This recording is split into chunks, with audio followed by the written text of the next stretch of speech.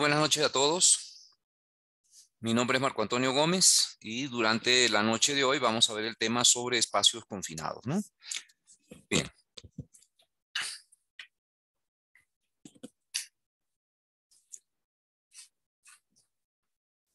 Bueno, en las indicaciones eh, iniciales, ¿no? Todo, por favor, manténganse atentos con sus micrófonos o audífonos, perdón, eh, o por el medio por el cual estén ustedes siguiendo esta capacitación. Bien, vamos a mantener, por favor, los micrófonos apagados. Seamos cordiales, respetuosos con las opiniones de los demás. Pueden efectuar las preguntas que consideren necesarias y em, levantar la mano, escribir también a través del chat. ¿no? Los que también, eh, si alguno de ustedes tiene algún problema con el micrófono, pues puede participar escribiendo a través del chat. Bien. Bueno, y estas son las, eh, la dinámica que vamos a seguir en la noche de hoy. Vamos a tener un pequeño receso ah, de unas 21.15, un espacio de, 5 o 10 minutos, ¿no? Y, eh, y luego esto vamos a ver entonces lo que es el, el, índice del curso, ¿no? Vamos a ver el objetivo del curso, lo que son las definiciones, el desarrollo del curso, características de lo que son los espacios confinados, responsabilidades entre los diferentes actores que hay en, cuando se realiza un espacio, un trabajo en un espacio confinado, eh, riesgos y medidas de control, instalaciones y equipos, lo que son pruebas atmosféricas y lo que refiere a planes de emergencia. Bien, Bien, entonces el objetivo ¿no? es establecer lineamiento a fin de prevenir lesiones ¿no? a trabajadores por la exposición a los peligros que eh, se tienen cuando se trabaja en un espacio confinado. Bien, ah, vamos a ir con lo que es la definición, pero antes de, proseguir con lo que es la definición, me gustaría, ¿no? Eh, con alguno de ustedes, tener pues, el, podemos repasar, ¿no? Entonces tenemos a los tengo aquí anotados.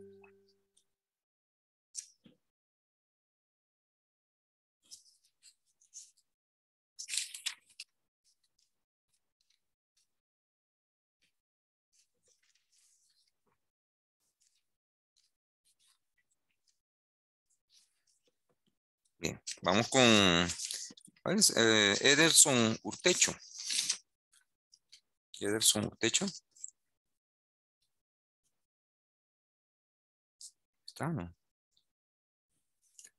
Eh, Fernando Humber.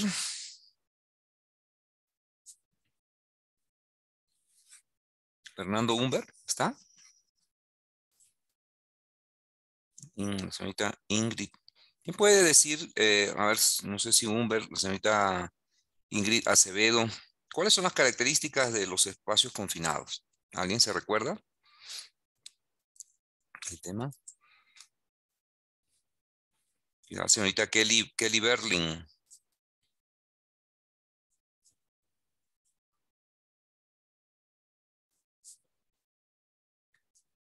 Lady Cruz.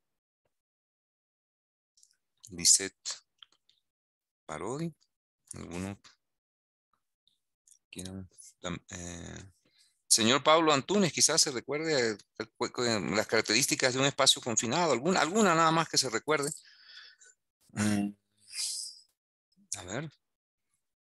Eh, sí, profesor, buenas noches. Buenas noches, Pablo. Mm. Sí, este, bueno, espacios confinados no son eh, recintos o áreas que tienen una entrada limitada, podríamos decir. Y bueno, entrada y salida limitada, ¿no? Y una ventilación natural que no es muy favorable, ¿no? Puede estar expuesta o, de alguna manera puede haber eh, agentes tóxicos, inflamables presentes dentro de él, ¿no? Poca iluminación, ¿no? Ya, muy bien, excelente, muy bien. Esas son dos características fundamentales de espacios confinados. Hay una tercera ah, adicional que también es no menos importante, ¿no? A ver si podría ver la señorita Lisette Parodi. Buenas noches, ingeniero. Buenas noches. Sí, perfectamente, señorita. espacios confinados son aquellos lugares que em, algunas veces son angostas. ¿Ya? Sí, bueno, lo que había dicho su compañero, ¿no? Que las entradas, salidas son reducidas. Y también había hablado que la generalmente hay poca ventilación, con lo cual puede haber presencia de gases tóxicos, deficiencia de oxígeno eh, o presencia de gases inflamables. Pero hay otra también otra característica, no sé si se recuerda, eh, un espacio confinado está diseñado para que eh, una persona pueda estar cómodamente dentro de él. ¿Se recuerda de esa? Pues los, espacios confinados también adicionalmente no están diseñados ¿no? para que puedan eh, desarrollarse una actividad normal, pues no son unas oficinas, no son unos talleres eh, donde pueda desarrollarse una actividad con, con comodidad. ¿no? Bien, aquí, ah, bueno, leo los, los comentarios también de Ingrid, que dice buenas noches, cualquier espacio con aberturas limitadas entrada y salida, que se acumulan gases, pero también no están diseñados para la ocupación humana continua, ¿no? Cualquier espacio con aberturas limitadas, ¿bien? Entonces, vamos a ir con entonces lo que es la definición, ¿no? Entonces, cualquier área o ambiente que no ha sido diseñado para ocupación humana continua, posee medios limitados de entrada y salida y cuya ventilación existente es insuficiente, que también ha mencionado eh, Paulo, para remover los contaminantes puede existir deficiencia o enriquecimiento de oxígeno, ¿bien?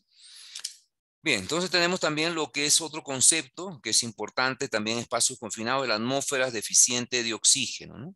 Eh, generalmente se conoce una atmósfera deficiente de oxígeno, aquella que tiene una concentración de menor a 19.5% de oxígeno por volumen, y es uno de los riesgos primarios asociados a lo que es espacio confinado. Algunas consecuencias de, de la falta de oxígeno puede causarlo pues la falta de coordinación, fatiga, error de juicio, vómitos y en caso extremo la muerte. Generalmente se recomienda tener un contenido de oxígeno de 20.8. Bien, luego tenemos lo que es una atmósfera enriquecida en oxígeno, la que contiene más del 23% de oxígeno en volumen de aire, ¿no? 23, 23.5, ¿no? La OSHA también, después vamos a hablar de eso, tiene, habla de una concentración. Y a ver, quisiera ver algún comentario. El señor Erson Urtecho. ¿Está? ¿Por qué será una atmósfera enriquecida en oxígeno puede ser peligrosa? A ver, Ederson, buenas noches. Buenas noches, ingeniero. Este, me parece, si no mal recuerdo, era porque eh, el cuerpo tiende a asimilar demasiado y puede este, afectar nuestro sistema inmunológico porque este, las células absorben demasiado, ¿no? Y eso hace de que se existe una especie de hinchazón. Y bueno, para, para evitar eso, este, es preferible siempre hacer los monitores correspondientes, ¿no? Mm, eso, pero no entraría eso un poco, por ejemplo, ahora que hemos vivido la pandemia, más bien la gente le suministra oxígeno puro. ¿Será por ahí? ¿Será por otra condición? A ver, no sé si, creo, creo que por ahí no es, ¿no? Pero te agradezco muchísimo tu participación. A ver si el señor Fernando Humber de repente pueda comentar algo.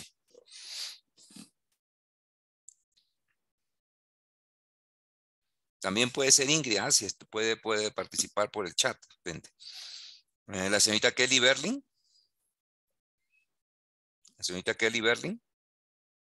La señorita Lady Cruz. Bien.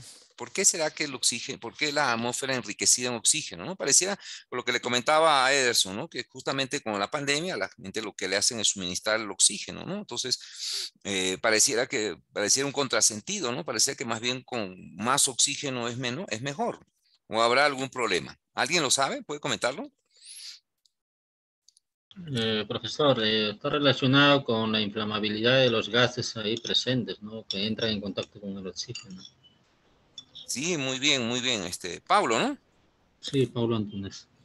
Correcto, Pablo. Esto es peligroso porque la posibilidad de que ocurra un incendio, una explosión es mucho mayor, ¿no? Eh, es, eh, por eso es que la atmósfera es enriquecida en oxígeno. ¿no? literatura generalmente 23%, pero también si ustedes se refieren, por ejemplo, a la OSHA, les habla de un 23.5%. Lo importante es saber que ya por encima de esos eh, porcentajes de volumen de oxígeno, pues también es peligroso porque puede ocurrir una explosión o un incendio. El equipo de trabajo para un espacio confinado debe estar constituido por trabajadores autorizados entrantes o ingresantes, dependiendo de la literatura que ustedes se refieran.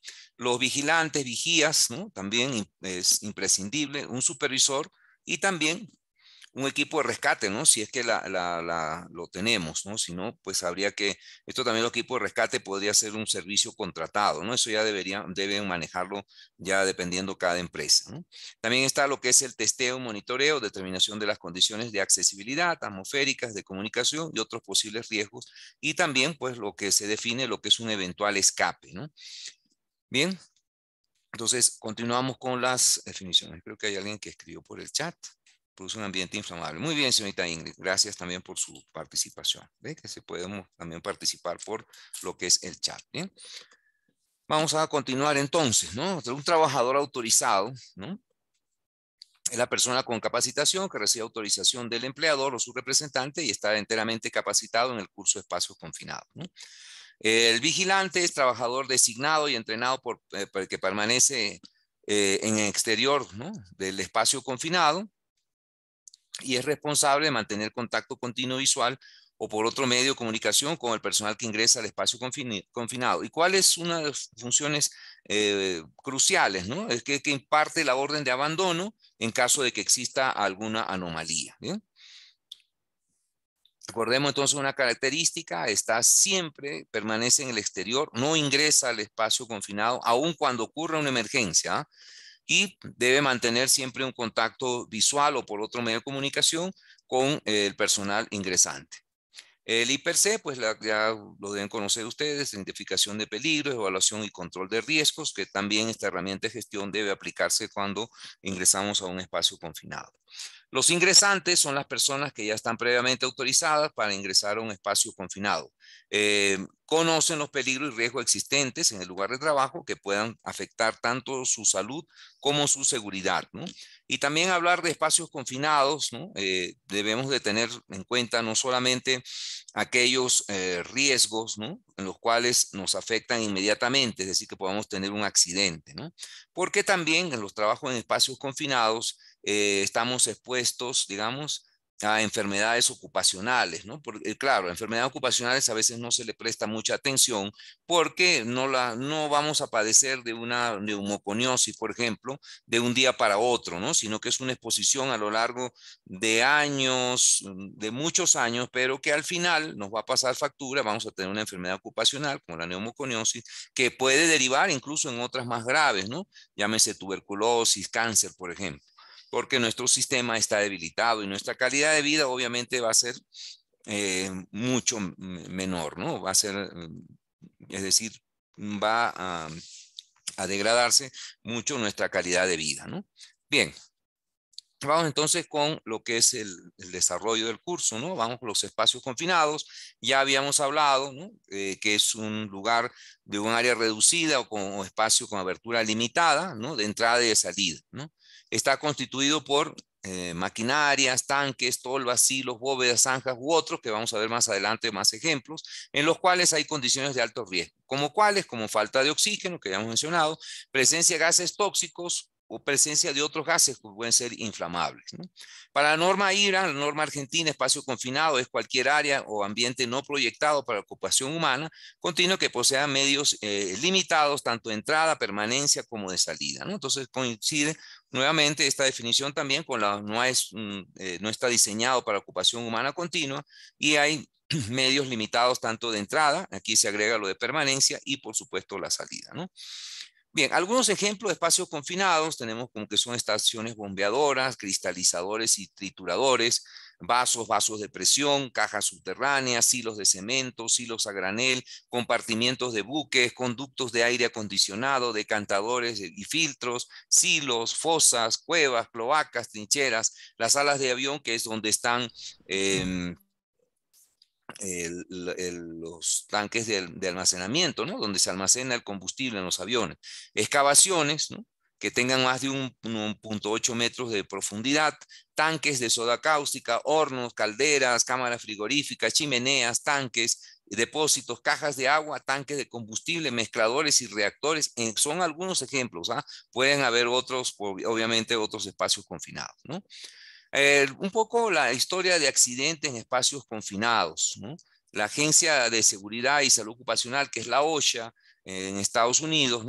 Em, mediante un documento que es el 29 CFR en 1910-146, presentó un material observando las principales causas que se observaban en distintos accidentes en espacios confinados y que obviamente guardaban similitud, ¿no? aquellas que eran más, las más comunes eh, en cuando hicieron las investigaciones de accidentes que han ocurrido en espacios confinados. ¿no? Las primeras de ellas, estas son las 10 principales, la primera de ellas, los trabajadores no conocían los espacios confinados y sus riesgos asociados, ¿no? O sea, habría desconocimiento, no hay capacitación. Y esto ocurre mucho, ¿no? Ocurre mucho, sobre todo, eh, no se conocen y además eh, un total desconocimiento, ¿no? En una oportunidad, voy a contar como una, una experiencia vivida ya, ¿no? De, no en el trabajo, sino en, pues eh, resulta que una vecina de mi mamá, de la, la, eh, que era vecina de la casa donde vivía mi mamá, ¿no? Este, construyó un tanque subterráneo para, eh, por ahí, en donde la zona donde vivían, pues había problemas de agua, a veces había suministro regular y decidió construir un tanque de agua, ¿no? En su casa. esos tanques, pues obviamente Mm, claro, el diseño por la señora tendría como dos metros de profundidad más o menos, ¿no? Em, y en un momento hay un revestimiento, ¿no? Para que el agua no se filtre, digamos, para que el, tanque sea, eh, tenga estanqueidad, ¿no? Entonces eh, se, hace un revestimiento de las paredes de estos tanques subterráneos. Con un material que se llama epóxico. No sé si alguno de ustedes lo ha escuchado, ¿no? ese epóxico es un revestimiento de paredes para que justamente la, eh, no haya filtraciones, no, no haya de, de agua. Y bueno, entonces en la aplicación, pues obviamente sin tener ningún conocimiento, la dueña de la casa, mucho menos el señor que iba a hacer esa labor, al final, cuando estuvo aplicando epóxico, creo que a los pocos minutos, la señora comienza a, llamar, a gritar a los vecinos para que le ayudaran, porque el señor se había quedado desmayado dentro del tanque, ¿no? Y justamente es esto, ¿no? Lo que no conocen los espacios confinados y sus riesgos asociados. Y obviamente también desconocía, pues, las características del producto que estaba aplicando, ¿no? Al finalmente, entre todos los vecinos, ¿no? Y pudimos ayudarlo y, y el señor se salvó, ¿no? Pero, este, eh, eh, fíjense, ¿no? Hay, hay desconocimiento a veces en espacios confinados, incluso para identificar qué cosa es un espacio confinado, ¿no? No, no, no conocían los síntomas por deficiencia de oxígeno, ¿no? que tienen sus características, ya las vamos a ver. ¿no? Eh, creían que los riesgos tóxicos siempre estaban acompañados de un típico olor de advertencia. ¿no? Y a veces estos casos ¿no? de que lo tenemos el, los gases, por ejemplo, eh, ah, sucede en el caso, por ejemplo, del gas, ¿no? El gas natural no tiene olor. Entonces dirán, profesor, pero ¿cómo el, que el gas que tenemos los balones en la cocina tiene olor? Tiene olor, ¿verdad? Eh, por ejemplo, el gas que utilizamos. un componente que hace. el, mercaptano. ¿no? Exacto, que es un, es un gas, el mercaptano, muchas gracias. Ese es un gas que es no viene con el, gas natural. El gas natural no tiene olor. Ese gas es dosificado, inyectado al gas para que el, ser humano pueda detectar ese, olor. Pero el gas natural, si ustedes alguna vez han tenido la oportunidad de trabajar en una planta ¿no? de gas, el gas natural no tiene olor. Justamente ese mercaptano es para, eh, se le inyecta para que pueda detectarlo el ser humano. También pensaban que un espacio eh, confinado tenía que ser de un formato y tamaño específico, ¿no? Y ya vamos a ver que mm, eso no tiene un, formato único, ¿no? Una, excavación más de un metro ochenta ya es un espacio confinado, ¿no? Y así, eh, se fiaron también en sus sentidos para advertir los riesgos atmosféricos. Esto también es otro grave error porque eh, muchas sustancias, como por ejemplo el sulfuro de hidrógeno, ¿no? Este, más bien pues nos inhibe los sentidos a determinadas concentraciones y ya no lo podemos percibir. También subestimaron los riesgos de los espacios confinados, intentaron recuperar elementos, eso también no solamente ocurre en el trabajo en espacio confinado, sino en otro, otros riesgos críticos, siempre ah, se, se va a recoger un casco, una linterna, una llave que nos hemos olvidado, ¿no? Y obviamente ya aquí las, las, medidas de seguridad son más laxas, ¿no? Y cuando procedemos a esto, eh, a veces ya el permiso ya se cerró, este, las mediciones que se habían hecho ya no se están haciendo y bueno, eh, ocurre estos tipos de accidentes, ¿no? Se descuidaron también hacia el final de la tarea, ¿no? Al final de la tarea tenemos eh, eh, eh, generalmente los que han estado en planta, hay un transporte a veces que nos está esperando, hay algunos otros compromisos, queremos terminar, en fin, ¿no? Entonces, al final de la tarea también hay un descuido, hay una presión. ¿no? Eh, presentaron sentimiento de inmunidad, tienen sentimiento de inmunidad, ¿no? Que eso a, nosotros no nos ocurre, a mí no me va a ocurrir eso, así que eso es que a los demás le ocurren y a nosotros no, ¿no? Incluso lo podemos vivir ahorita, ¿no? Hay personas que eh, no se vacunan porque distintos modos que no los va a afectar o piensan que esto no es una, algo real, en fin. Trataron también de rescatar a sus compañeros, ¿no? Obviamente sin tener la preparación, ¿no? Y sobre todo los equipos para poder hacer el rescate, ¿no? En lo cual resulta pues rescate fallidos y muertes adicionales, ¿bien? Entonces esto es las principales causas que observaron en el análisis de accidentes de, en espacios confinados. Bien. ¿Hay alguna pregunta hasta aquí? ¿Hay alguna pregunta hasta aquí? ¿No? Bien, seguimos entonces con características. ¿eh? Ya lo hemos mencionado, no, está diseñado eh, para ocupación humana continua e ilimitada. Eh, está sujeto pues, a la acumulación de gases tóxicos, inflamables o también inertes. ¿no? A ver, ¿y quién podría decirme qué es un gas inerte? ¿Lo han escuchado? ¿Qué es un gas inerte? ¿Alguno de ustedes ha escuchado qué es un gas inerte? ¿Para qué se utiliza? ¿Por qué es peligroso? En los gases... A ver, adelante, por favor. Me parece que son los gases nobles. También. puede, puede desplazar al oxígeno y dejar sin oxígeno. Exactamente, muy bien. El, gas inerte es para, se utiliza generalmente para eh, manejo de sustancias eh, inflamables o combustibles y cuál, para, evitar que los vapores, ¿no? Eh, pues entren en contacto con el oxígeno y se produzca una explosión incendio, se utilizan estos gases inertes, ¿no? Pero así como son buenos para que no haya la presencia de oxígeno, o por lo menos esta sustancia inflamable o combustibles no entren en contacto con el oxígeno, igualmente para nosotros, para el ser humano, ¿no? Estos gases no son respirables. Por ejemplo, el nitrógeno, ¿no? El nitrógeno es uno de los gases inertes más utilizados para eh, desplazar productos eh, o sustancias eh, combustibles inflamables. ¿no? Entonces conoce como gas inerte. También utilizado, por ejemplo, el dióxido de carbono, utilizado, por ejemplo, en, extintores, también es un gas inerte, no, no podemos respirar. ¿no? también por eso, en muchos casos, ¿no? ocurría cuando se reemplazó el, el halon, no sé si ustedes escucharon alguna vez un agente extinguidor que era el Halo, se utilizaba mucho, sobre todo para equipo de computación, hasta que en la década de los 80 ¿no? se determinó eh, que ese producto dañaba la capa del ozono.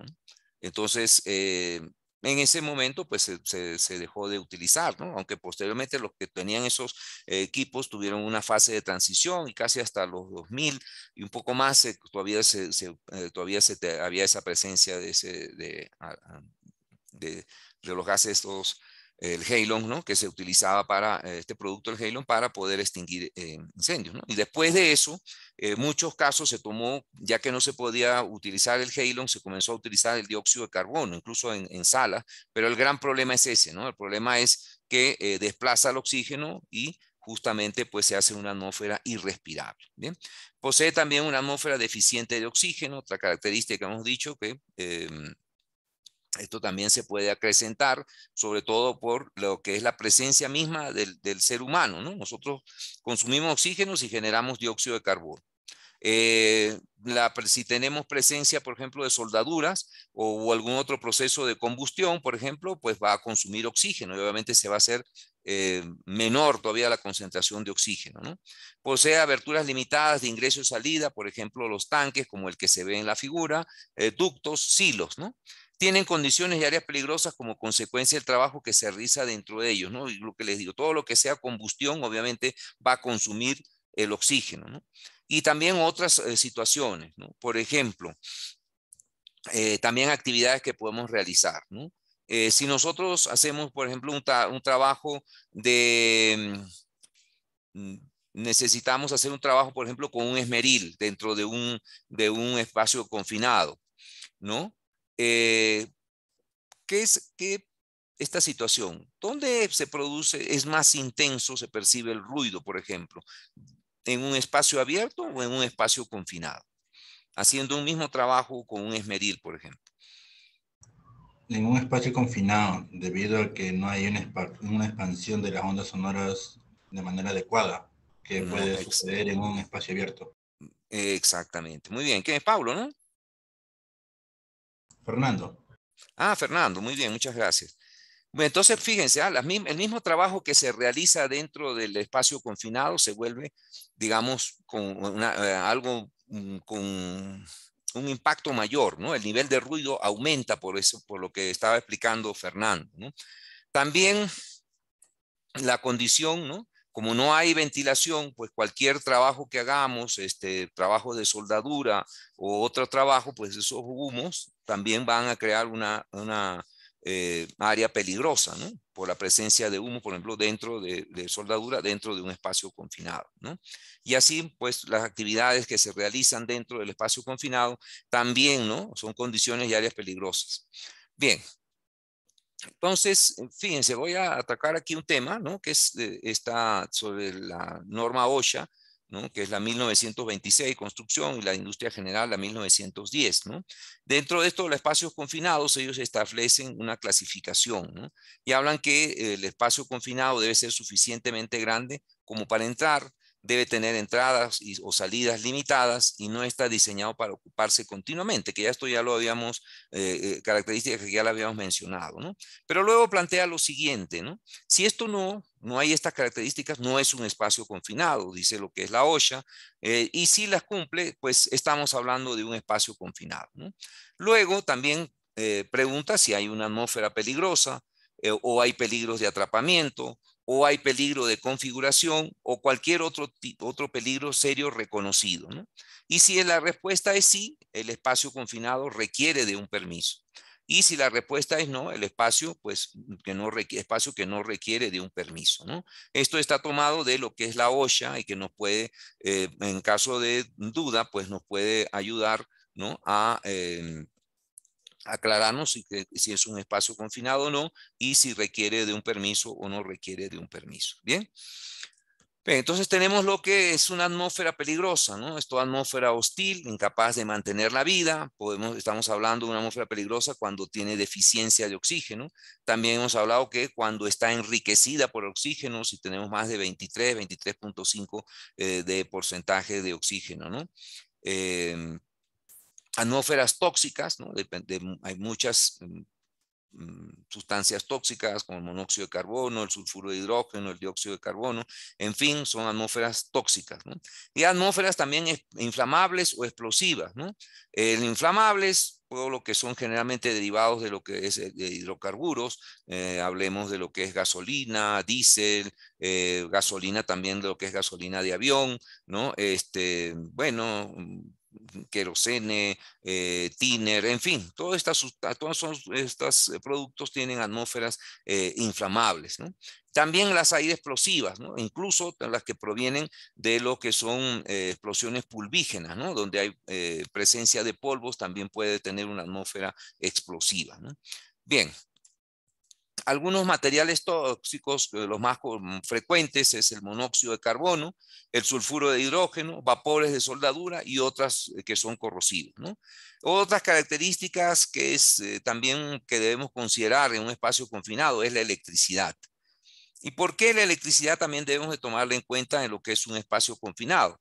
Recordemos que la mayoría de los espacios confinados, por lo general o muy frecuentemente, son de metal, ¿no? Generalmente de material metálico.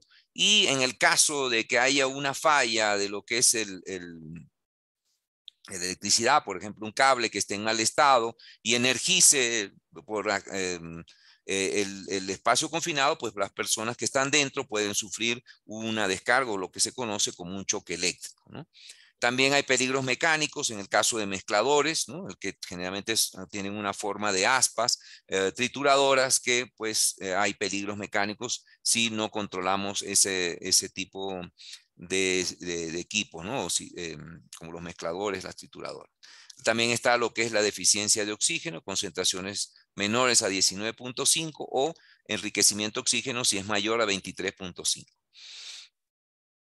También las más frecuentes combustibles son el metano, el hidrógeno, el acetileno, el propano y vapores de gasolina. Bien, entonces estas son las características eh, de, o, que puede haber dentro de un espacio confinado, ¿no? Con presencia de materiales tóxicos, los más comunes, electricidad, peligros mecánicos, en el caso de mezcladores, trituradoras, lo que es deficiencia, deficiencia y enriquecimiento de oxígeno, y los combustibles más frecuentes son los que se mencionan en esta diapositiva. Bien. Espacios confinados asociados a la industria, ¿no? Por ejemplo, en textil están lo que son cajas, recipientes de tintura, calderas, tanques y prensas. En la industria del petróleo e industrias químicas tenemos lo que son reactores, vasos de reacción o de proceso, columnas de destilación, tanques, torres de enfriamiento, áreas de diques, filtros colectores, precipitadores, lavadores de aire, secadores y conductos. ¿no? Esto dentro de la industria del petróleo, industrias químicas. En cuanto a metalurgia, tenemos depósitos, conductos, tuberías, silos, pozos, tanques, desengrasadores, colectores y también lo que son eh, cabinas. ¿no? En transporte, tanques en las salas de aviones, ya hemos dicho donde se almacena el combustible, camiones tanque, vacunes, vagones tanque ferroviarios, tanques y buques tanque. ¿no? Esto son espacios confinados asociados a la industria. Eh, también servicios sanitarios de agua, cloacales, servicios de gas, electricidad y telefonía. Todos ellos también ¿no? Eh, tienen espacios confinados y pues hay que tener en cuenta en el caso del agua, en el caso también de lo que son eh, tuberías de cloacales, ¿no? la descomposición de la materia orgánica pues produce atmósferas peligrosas. Eh, sobre todo inflamables. Así que hay que tener cuidado con este tipo de em, sitios, ¿no? Como tanques sépticos, pozos, pozos químicos, que hay, ¿no? Eh, hay la generación de sustancias eh, tóxicas en casos también inflamables, ¿no? Como el metano, por ejemplo. Bien, entonces habíamos dicho que esto, dentro de, esta, dentro de este grupo de servicios sanitarios de agua y cloacales, servicios de gas, electricidad y telefonía, están pozos de válvulas, galerías, tanques sépticos, pozos, pozos químicos, reguladores, pozos de lodo, pozos de agua, cajas de grasa, estaciones elevadoras, cloacas y drenajes, digestores, incineradores, estaciones de, de bomba, conductos, cajas, cajones y sitios que están enclaustrados. Tenemos también las operaciones eh, marítimas, entre otras, eh, tenemos eh, los sótanos, los containers, las calderas, tanques de combustible, tanques de agua, compartimientos y conductos. Sobre todo, pues, eh, compartimientos también de agua que generalmente se utiliza para la flotabilidad de, los, de, los barcos. Transporte, tanques de alas de aviones, camiones tanque, vagones, tanques ferroviarios, tanques y buques tanque. Bien, eh, otros conceptos a considerar, lo que es la parte de equipo de trabajo, ya hemos dicho que es autorizado por vigía, supervisor, equipo de rescate. Eh, el testeo monitoreo ya también lo habíamos eh, tocado, pero vamos ahora con lo que es otro punto, que es lo que refiere a lo que son áreas clasificadas. ¿no? Las áreas clasificadas, también esto es importante, conocer si en el espacio confinado en el cual vamos a trabajar se considera un área clasificada. ¿Qué cosa es un área clasificada? Es el área en la cual una atmósfera explosiva está presente o en la cual es probable su ocurrencia. A punto de que se exigen precauciones especiales para la construcción, instalación y utilización de equipo eléctrico o que genere eh, o que genere trabajo en caliente. ¿no? Se requiere permiso que considere esta situación. Bien, entonces, cuando tenemos una atmósfera explosiva presente, eh, hay que seleccionar sobre todo lo que son equipos eléctricos y otros que generen chispa, ¿no? Para eh, no utilizarlo en esa clasificada y en el caso de equipos eléctricos deben ser equipos eléctricos para áreas clasificadas. Esto es eh, sumamente importante, luego lo vamos a ir viendo, por ejemplo, en los detectores eh, de gases, como no se sabe qué concentración, si hay o no hay eh, gases o vapores inflamables, entonces lo que hace, hace es que se tiene que tener equipos, esos detectores deben ser a, prueba de explosión, seguridad intrínseca o ATEX, ¿no? También lo, lo conocen así, ¿no? Para áreas clasificadas. Las condiciones de ingreso aceptables son condiciones ambientales que deben permitir el ingreso pues, a un espacio confinado en base a criterios técnicos que, de protección para riesgos atmosféricos, químicos, biológicos y o mecánicos que garanticen la seguridad de los trabajadores. Vamos ahora con lo que es una condición IPVS, ¿no? inmediatamente peligrosa para la vida o la salud. En literatura quizá extranjera, pues la pueden ver lo que se conoce como IDLH, ¿no? que es eh, Immediately Dangerous for Life and Health, ¿no? IDLH, pero también en español, pues IPVS. ¿Qué cosa es el IPVS? Una, cualquier condición que represente una amenaza inmediata para la vida y que pueda causar efectos adversos irreversibles en la salud. ¿no? Instantáneos retardados, exposición aguda a los ojos que impiden escapar de la atmósfera peligrosa y que interfiera en la habilidad de los individuos para escapar de un espacio eh, confinado sin ayuda. ¿no? Entonces, cuando tengamos esta condición inmediatamente peligrosa para la vida o la salud, si hay esta condición ¿no? en el espacio confinado, pues no podemos eh, ingresar a menos que se haga con un equipo de respiración autónoma. También tenemos, por ejemplo, lo que es inertizado, que hablamos de gas, cuando ocurre cuando se hace inerte una atmósfera, usualmente inyectando lo que es el nitrógeno. La inertización produce un ambiente asfixiante, la inertización genera una atmósfera IPVS. Luego tenemos lo que es el purgado, implica purificar, limpiar, expeler, limpiar por ventilación o lavado con agua o vapor, tornando la atmósfera interna pura y limpia. ¿bien? ¿Cuáles son las razones comunes para entrar a un espacio confinado? Por lo general, ¿no?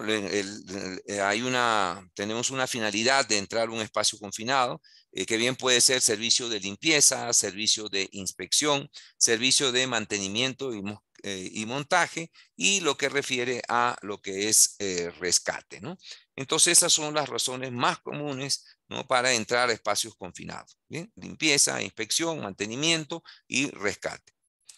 Y bien, vamos a ir con el quiz número uno, que ya creo que el día de ayer mm, deben conocerlo. Aquellos que no lo puedan activar directamente del chat, por favor lo copian en Google y seguramente de esa manera lo va a activar. Bien, denme unos segundos, por favor. Y ya les voy a colocar el link. Bien, ah, a ver.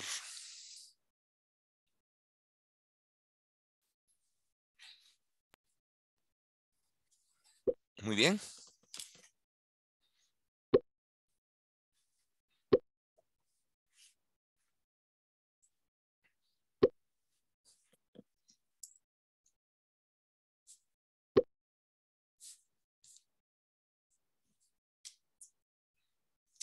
Muy bien.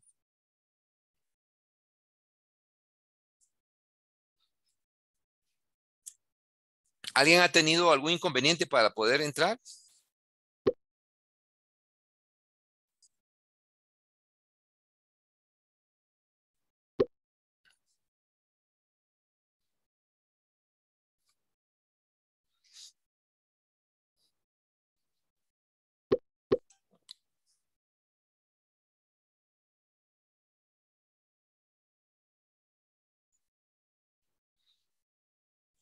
Muy bien, vamos entonces con la primera pregunta. ¿bien?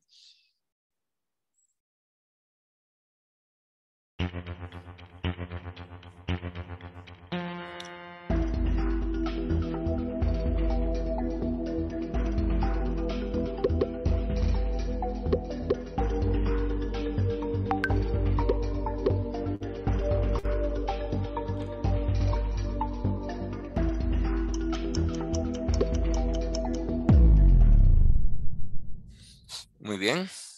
Seguimos con la segunda pregunta.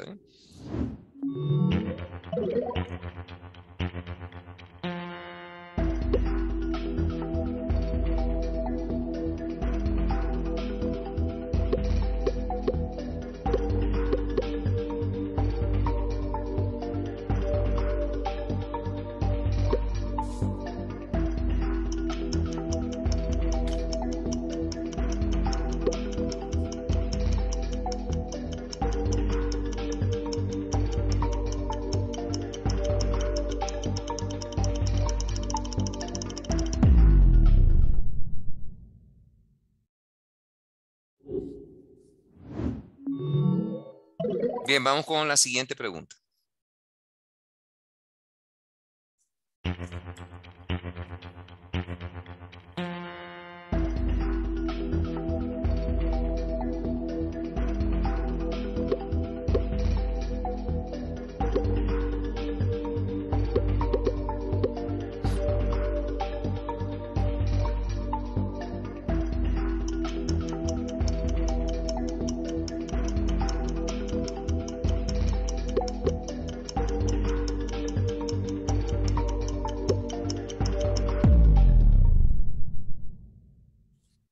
Bien.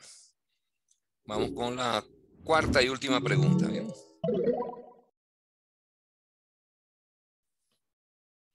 Ah, esa es la última. Ya.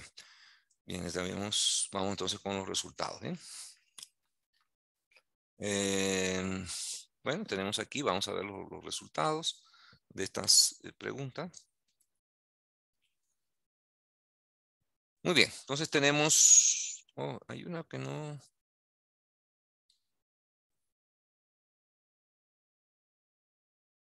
Bueno, pero hay una que creo que entonces no, no, no se hizo la pregunta.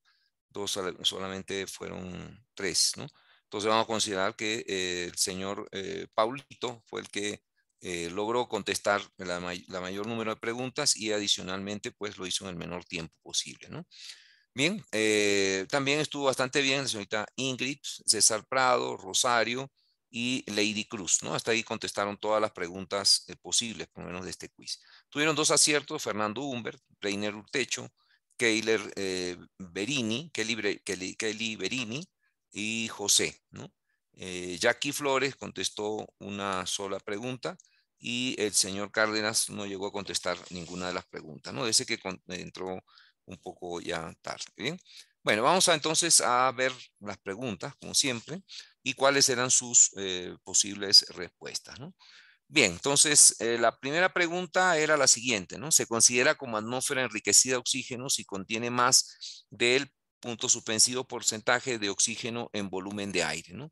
Las respuestas posibles eran 28.5, 20.9, 23.5 y 19.5. ¿no? Entonces la atmósfera enriquecida es aquella que tiene más de 23.5% de oxígeno. ¿no? La contestaron nueve juradores, que era una precisión del 82%. Muy bien en esta primera pregunta.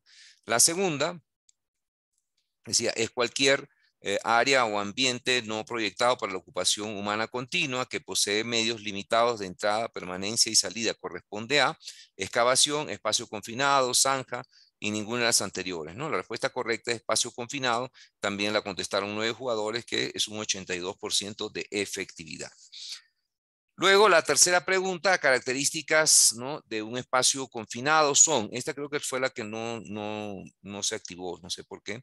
Las opciones eran atmósfera hostil, incapaz de mantener la vida, atmósferas tóxicas, inflamables explosivas, y eh, atmósferas deficientes eh, enriquecidas de oxígeno. ¿no? Y entonces la, respuesta correcta era todas las anteriores. ¿no?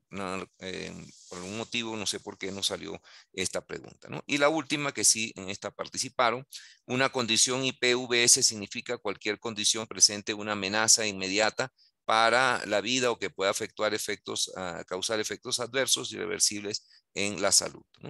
Permitir el ingreso de un espacio confinado en base a criterios eh, técnicos de protección para riesgos atmosféricos, químicos, biológicos y mecánicos, inyectar, purificar, ventilar y secar la superficie y a ninguna de los eh, anteriores. Bien, la respuesta correcta era la primera, la opción A, que era cualquier condición represente una amenaza inmediata para la vida o que pueda causar efectos adversos y reversibles en la salud. La contestaron seis jugadores, es decir, un 55% de efectividad. Bien, y esto es lo que era el primer quiz. Bien, bueno, vamos a continuar entonces.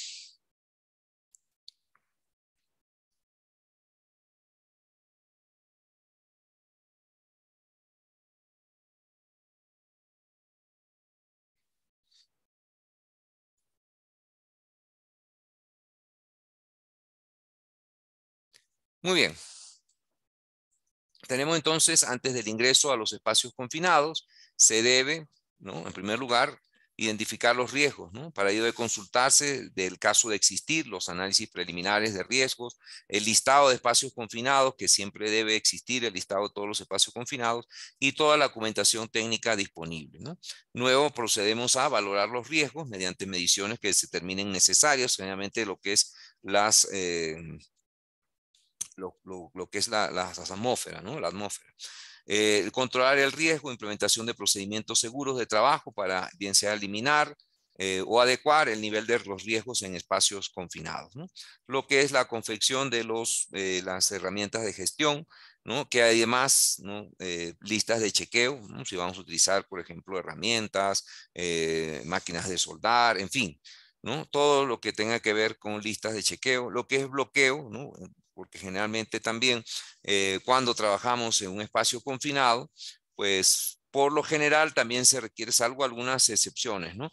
Eh, se requiere un control de las energías peligrosas, ¿no? Entonces, además, lista de chequeo, bloqueo y señalización. Documentos que debe realizarse y que provee el empleador para realizar la tarea en forma segura en los espacios eh, confinados, ¿no?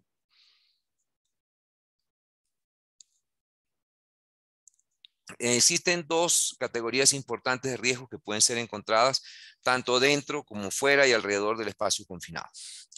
Una es la de los riesgos atmosféricos y la otra es lo que son riesgos eh, físicos, en el cual están mecánicos, físicos, eh, biológicos y otros.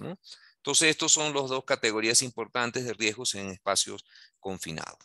Dentro de los físicos, Obviamente tenemos lo que son ruidos, vibraciones, radiaciones ionizantes, las no ionizantes, el frío, calor extremo, presiones anormales de humedad. Bien, en cuanto a los tipos de riesgos biológicos, tenemos ahora eh, que estamos en la pandemia, ¿no? Eh, un virus, las bacterias, los protozoos, los hongos y los hongos y los parásitos. Y en cuanto a los químicos, ¿no? que pueden, recordemos que los químicos tenemos por lo general tres vías ¿no? de, que pueden eh, eh, eh, tener contacto con nuestro cuerpo. Una es por la vía respiratoria, ante lo cual nos afectan lo que es polvo, humo, nieblas, neblinas, gases y vapores. ¿no? El otro es por contacto con sustancias, compuestos o productos químicos, contacto a través de nuestra piel, y también pues hay el punto ¿no? de que puede ser eh, ingerido ¿no? el, producto químico. Entonces, estos son los tipos de riesgo presentes en un espacio confinado. Vamos a ir con el oxígeno en espacios confinados eh, y de acuerdo a su concentración, cuáles son los efectos ah, que, que, que, vamos a, a tener. ¿no? Aumento, el 23% aumento en la inflamabilidad de los materiales. Un 20.9 es el nivel normal de oxígeno en el aire sobre el nivel del mar. Y 19.5 el nivel mínimo de oxígeno para una entrada segura. Ya por debajo de esta concentración, pues no, mm, ya no es seguro y que, mm, eh, tendría que, en caso de que se requiera, pues tendrían que entrar con otros eh, eh, tipos de equipo, ¿no? Con suministro de aire. La respiración se acelera de 10 a 11%, falta de coordinación, aumento de pulsaciones, eh, euforia y dolor de cabeza, de 6 a 10%, náuseas, vómitos, dificultad de movimientos, pérdida de conocimiento, fallas mentales y la muerte en 8 minutos.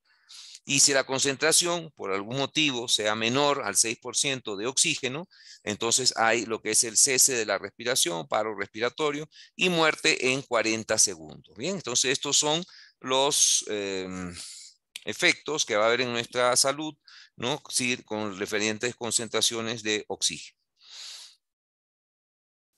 ¿Qué objetos eh, deben estar prohibidos para ingresar en un espacio confinado? Obviamente lo que son cigarrillos, encendedores, fósforos, velas y también los teléfonos celulares. Los objetivos necesarios para la ejecución de trabajo que produzcan calor, llama o chispa deben estar específicamente indicados en el permiso de trabajo. Entonces, sí, ¿no? Eh, se requiere la ejecución del trabajo produzca calor, llamas o chispas deben estar específicamente indicados en el permiso de trabajo especial. Bien, vamos entonces ahora con las responsabilidades. ¿no? Vamos con las responsabilidades. Eh, las responsabilidades se van a aplicar en este orden. ¿no? Obviamente, la mayor responsabilidad en un trabajo en espacios confinados va a recaer sobre el supervisor. Eh, luego, en orden de responsabilidades, ¿no? está el vigilante y finalmente los ingresantes. Entonces, también están lo que es funciones de los ingenieros de seguridad que deben de tomar qué medidas en trabajos de espacios confinados. Bueno, vamos entonces ahora primero con el supervisor. debe asegurar que la autorización para trabajos en espacios confinados esté completada, firmada y entregada a seguridad minera antes de que ingresen a un espacio confinado. Por otro lado, debe asegurarse el supervisor de un trabajo de espacios confinados que todos los trabajadores estén entrenados antes de ingresar a un espacio confinado. Por otro lado, deben asegurar el procedimiento de, del control de energías peligrosas, es decir, aislamiento de energía. En la mayoría de los casos, los espacios confinados ¿no? tienen energías que interactúan con ellos y que por lo tanto debemos de asegurar el procedimiento de aislamiento de energía, ¿no? bien sea energía eléctrica, hidráulica, en fin. También es responsabilidad del supervisor identificar todos los espacios confinados en su área de trabajo y colocar carteles de ingreso indicando peligro, prohibido, ¿no?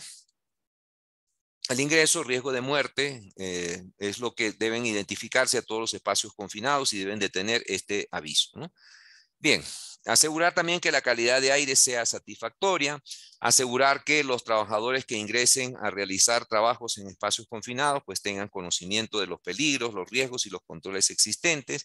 También se deberá considerar en la evaluación de riesgos si es necesario realizar los estudios sobre geología, geomecánica, hidrología, hidrogeología, estabilidad de taludes, ¿no? En el caso que aplique, ¿no?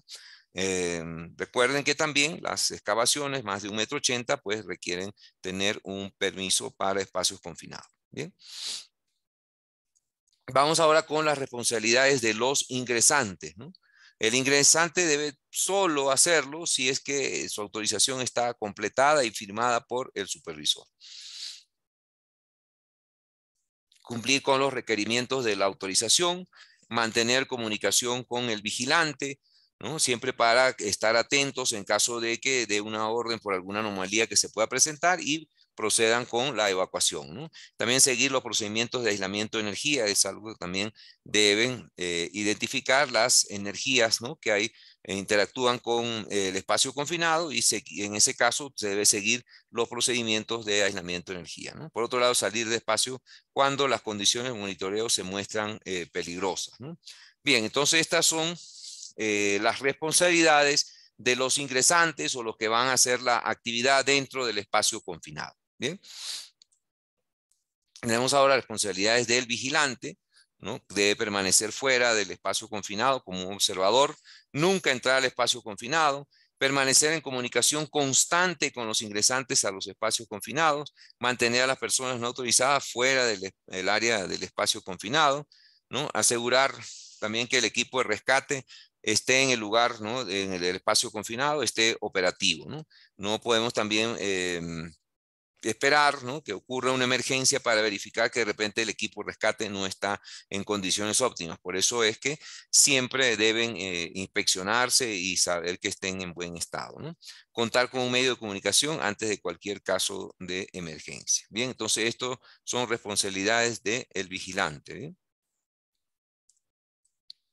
Y vamos ahora con los ingenieros de seguridad, ¿no? Mantener los registros de las autorizaciones para trabajos en espacios confinados, auditar el presente procedimiento y realizar simulacros de salvamento efectuados eh, por el equipo de emergencias por lo menos cada seis meses, ¿no? Esto es por lo menos, ¿ah? pero lo recomendable es que se hagan con, con, con frecuencia, ¿no? Eh, ¿Por qué? Porque realmente es la forma en donde nos más eh, cercana que vamos a tener en caso de que ocurra un evento eh, en nuestra respuesta, cómo va a ser. Bien. Bien, vamos con lo que es el quiz número 2. Vamos con el quiz número 2, ¿ya? Por favor, lo voy a colocar el link eh, nuevamente, deben unos instantes. Bien, a ver.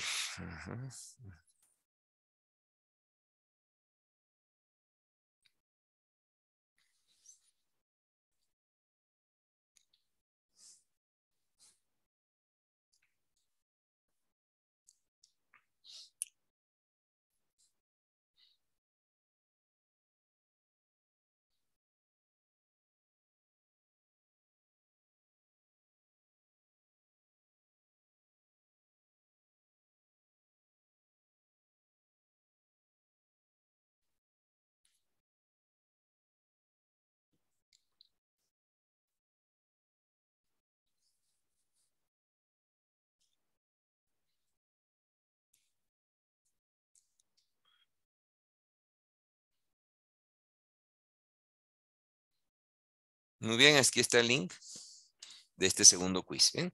Dejo a todos que se unan. Si no, lo pueden activar directamente en el chat, colóquenlo en, en Google y, y listo.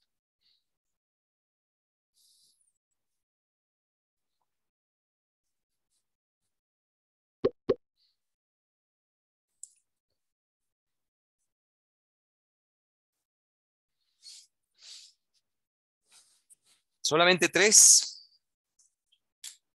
Está Pablo Antunes, Breiner Urtecho y Jackie Flores. ¿no?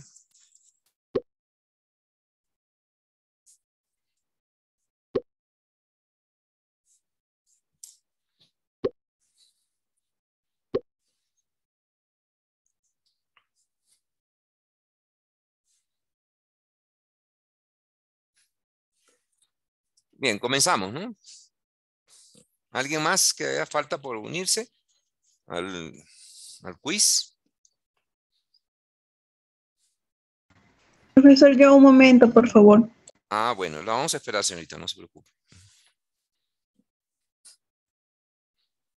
Profesor, ¿puede volver a mandar el link? No, no lo tengo. No, no, no hay, no hay ningún problema, señorita.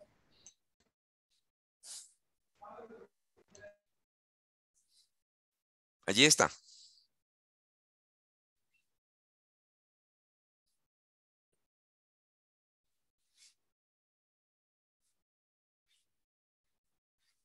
Me avisa, por favor.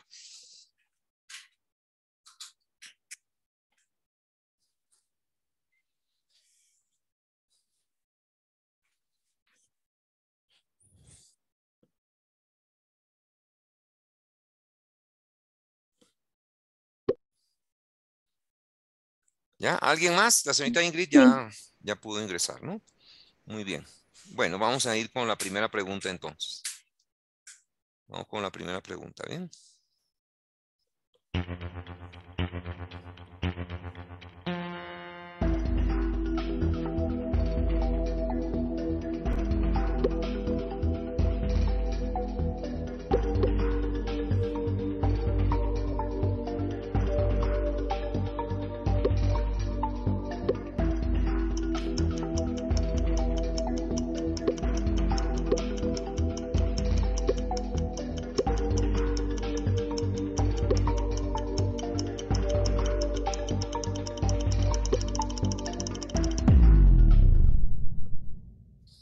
Muy bien, vamos con la segunda pregunta entonces.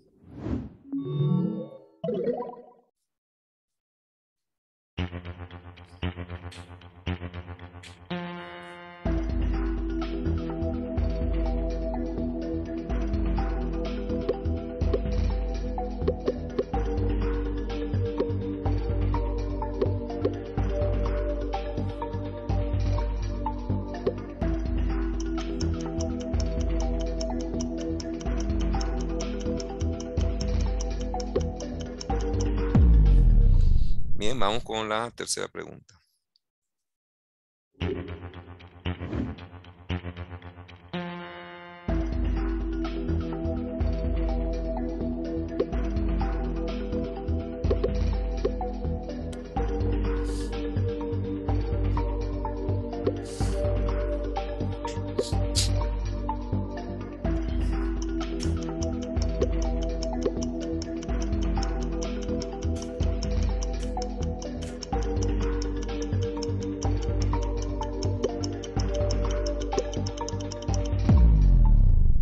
Vamos con la cuarta y última pregunta entonces.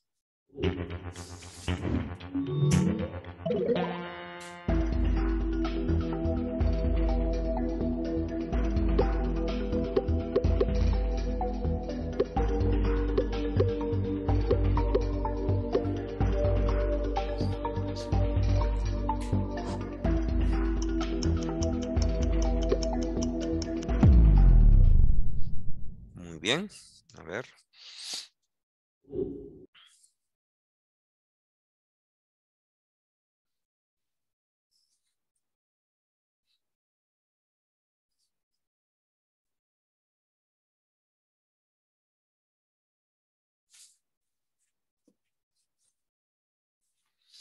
Bien, a ver, Vamos con los resultados entonces, ¿no? Tenemos el señor Breiner Urtecho. Muy bien, Breiner, ¿ah? las cuatro preguntas las acertó en el menor tiempo posible. Y también la señorita Ingrid Acevedo que acertó las cuatro preguntas. Eh, son los dos únicos que contestaron las cuatro, las cuatro preguntas acertadamente. Pablo César contestó tres acertadamente, José lo mismo, César Prado también contestó acertadamente tres preguntas. Luego están los que acertaron dos eh, de las preguntas, ¿no? la respuesta de dos preguntas, eh, como eh, señorita Rosario, Cárdenas, Jackie Flores, Jacqueline Berini. ¿no? Y con un solo acierto, Fernando Humber y Lady Cruz. Bien. Bueno, vamos a revisar, como siempre, lo que son las preguntas y sus respectivas eh, respuestas. ¿no? Bien, vamos con la número uno, entonces. No son riesgos atmosféricos, ¿no? Lo que son mecánicos, químicos, biológicos, eh, y todas las anteriores, todos los anteriores. ¿no? La respuesta correcta era todos los anteriores, ¿no? Pues ninguno de ellos son los riesgos atmosféricos. Los atmosféricos tienen que ver con las concentraciones de vapores gases. ¿no? Muy bien. Entonces tenemos que la primera respuesta, eh, la acertaron tres trabajadores, hubo una precisión del 27%. Bien.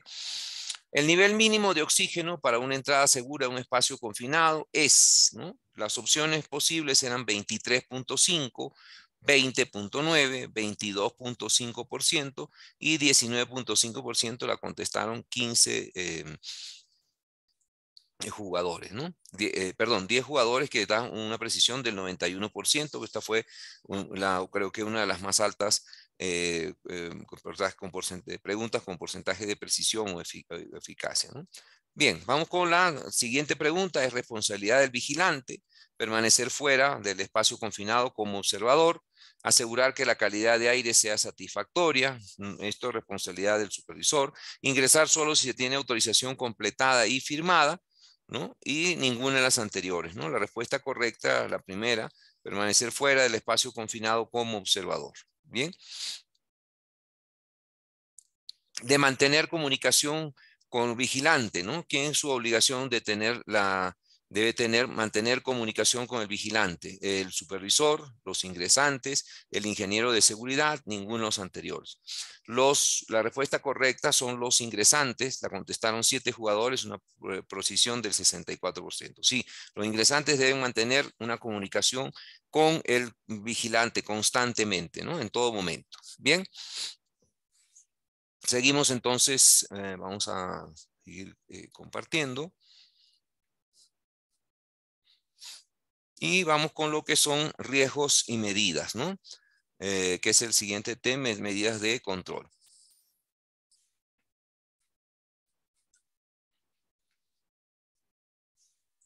Bueno, el personal eh, responsable que participará en, en, actividades de espacios confinados deben ser capacitados en los siguientes puntos. Los riesgos generales y específicos que están asociados a la actividad, instalación o ubicación. Evaluación de los riesgos para seleccionar el EPP adecuado. Sistema de los permisos de trabajo principales y complementarios. ¿no? Recordemos que em, aparte del permiso de trabajo para espacio confinado, que debe existir también eh, si tenemos un trabajo en caliente, probablemente también necesitemos un permiso para trabajo en caliente. Si estamos haciendo un trabajo en altura, probablemente eh, vamos a tener eh, un permiso también, necesitamos para un trabajo en altura, ¿no? Y puede ser que también sea trabajo en altura, trabajo en caliente y sea dentro de un espacio confinado. El control de energía probablemente también requiera de un permiso de trabajo, ¿no? El control de energías peligrosas.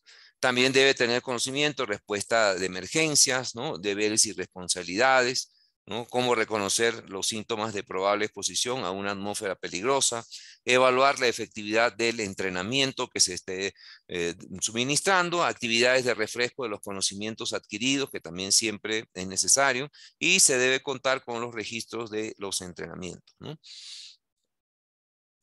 Bien, entonces en cuanto a entrenamiento y condiciones del personal. Secuencia de actividades, ¿no?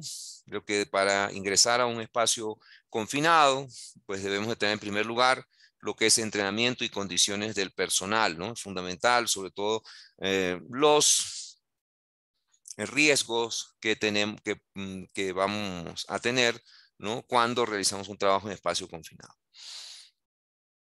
También tener una reunión de trabajo y habilitación de lo que es el PETAR, lo que es bloqueo etiquetado, en los casos que aplique, limpieza y descontaminación, lo que son las mediciones atmosféricas y finalmente el ingreso durante y término del trabajo. Bien. La condición médica, ¿no? Eh, es importante. Eh, tener una buena condición física y, también psicológica de las personas que van a realizar trabajos en espacios confinados. Eh, en el caso de, lo que es espacios confinados, no deben de tener fobias a lo que son espacios confinados porque va a ser muy complicado seguir con la actividad. Eh, no debe tener eh, problemas respiratorios, ¿no? Bien, que eso también eh, es algo importante, ¿no? Y por eso hacían la prueba de espirometría, ¿no? No sé si en este momento ya la habrán reiterado, había un tiempo que la suspendieron por la pandemia, ¿no? Si hay alguien que tenga información, pues puede comentar, pero esto se hace justamente para eso, ¿no? Se hace la prueba de espirometría para verificar que la persona no tenga problemas respiratorios. También de mostrar habilidad para el uso de respiradores de presión positiva y negativa. Entonces, ¿quién no ha utilizado un equipo, por ejemplo,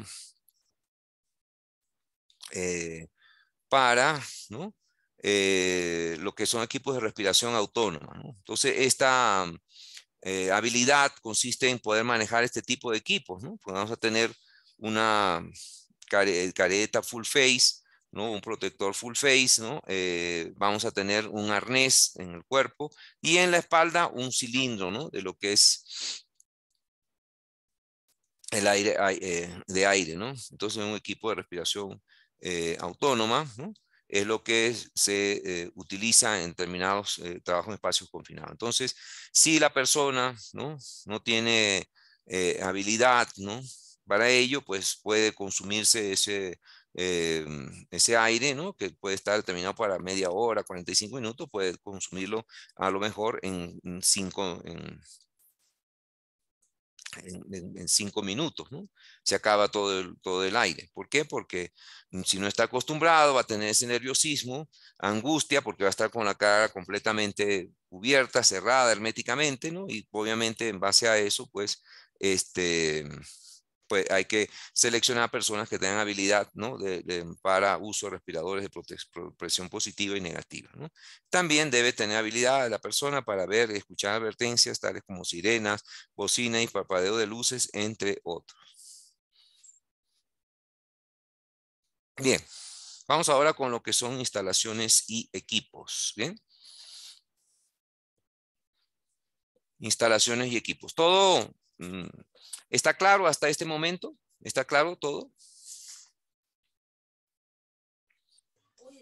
Bien. Muy bien, vamos ahora con lo que son instalaciones y equipos. ¿no? Toda área próxima al lugar donde se realizarán los trabajos de espacios confinados también debe ser aislada y señalizada antes del inicio de las actividades. ¿no? Eh, las herramientas a ser utilizadas en un espacio confinado deben ser previamente evaluadas y adecuadas respecto a la clasificación de la zona. Em, entonces, si tenemos, eh, por ejemplo, un área clasificada, o es decir, donde haya procedencia, bien sea permanente o, o, mm, eventual de lo que son gases o vapores inflamables, ¿no? Eh, debemos de utilizar pues herramientas que sean justamente para ese tipo de, eh, de, áreas clasificadas. Todos los equipos y sistemas de protección deben ser inspeccionados ante el inicio de actividades y sustituidos ¿no? en caso de eh, se detecten anormalidades. Esto debe quedar registrado. Entonces, las áreas que están clasificadas como fuera potencialmente explosivas deben utilizar siempre equipos y herramientas de seguridad intrínseca. Bien. Lo otro que generalmente en espacios confinados ¿no? se utiliza mucho son los radios de comunicación. Por favor, los, los micrófonos se los voy a pedir que lo apaguen, por favor. Bien. Por favor, hay un micrófono que está abierto y se escucha un sonido.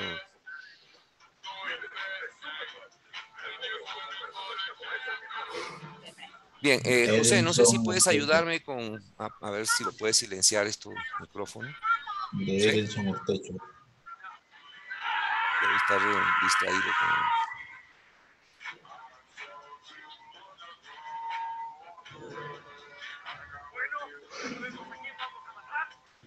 Ah, Urtecho, ¿no? A ver si...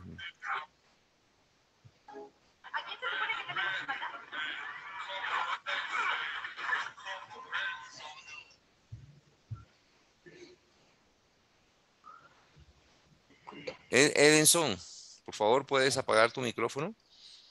Edenson. Bien, a ver. Muy bien, gracias. Em, bueno, entonces estamos hablando de lo que son los equipos de comunicación, ¿no? Generalmente utilizan radios en lo que son los espacios confinados, ¿bien? Eh, pues deben ser apropiados, hablando de condiciones eléctricas del área, si detecta algún riesgo en su utilización, deben implementar soluciones técnicas, ¿no? Siempre que sea necesario, por ejemplo, sistemas de repetición, eh, de repetición de mayor alcance. ¿No? Debe proveerse también radios por lo menos al vigía, equipo de trabajo y al equipo de rescate en el caso de que sea un, eh, el personal rescate sea personal de la misma compañía. Eh, y bueno, debe haber también eh, comunicación en el caso incluso que sea un, servicio contratado, los rescates. La utilización de celulares no debe estar, no está permitida y en áreas clasificadas como atmósferas potencialmente explosivas deben utilizar equipos y herramientas de seguridad intrínseca. ¿bien? Los medios de comunicación en espacios confinados pueden ser de forma visual, eh, de verbal directa, vía cable o por radio inalámbrica. ¿no? Esos son los medios de eh, comunicación en un espacio confinado. Bien, vamos entonces ahora con lo que instalaciones, equipos, ¿no? También lo que es las luminarias deben tener la respectiva rejilla protección para que en caso de que alguna luminaria después se parta, se rompa, no, no cause daño a los trabajadores. También las luminarias deben ser adecuadas para atmósferas explosivas, donde el área ha sido clasificada como tal.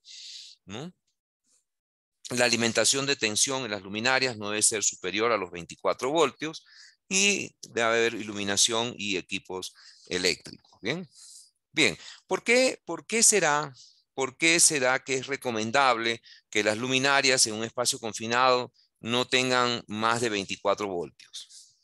¿Por qué se, ¿A qué motivo se debe de que se recomienda que eh, las luminarias no deben ser eh, con una tensión mayor a 24 voltios? ¿Por el calor que genera el voltaje?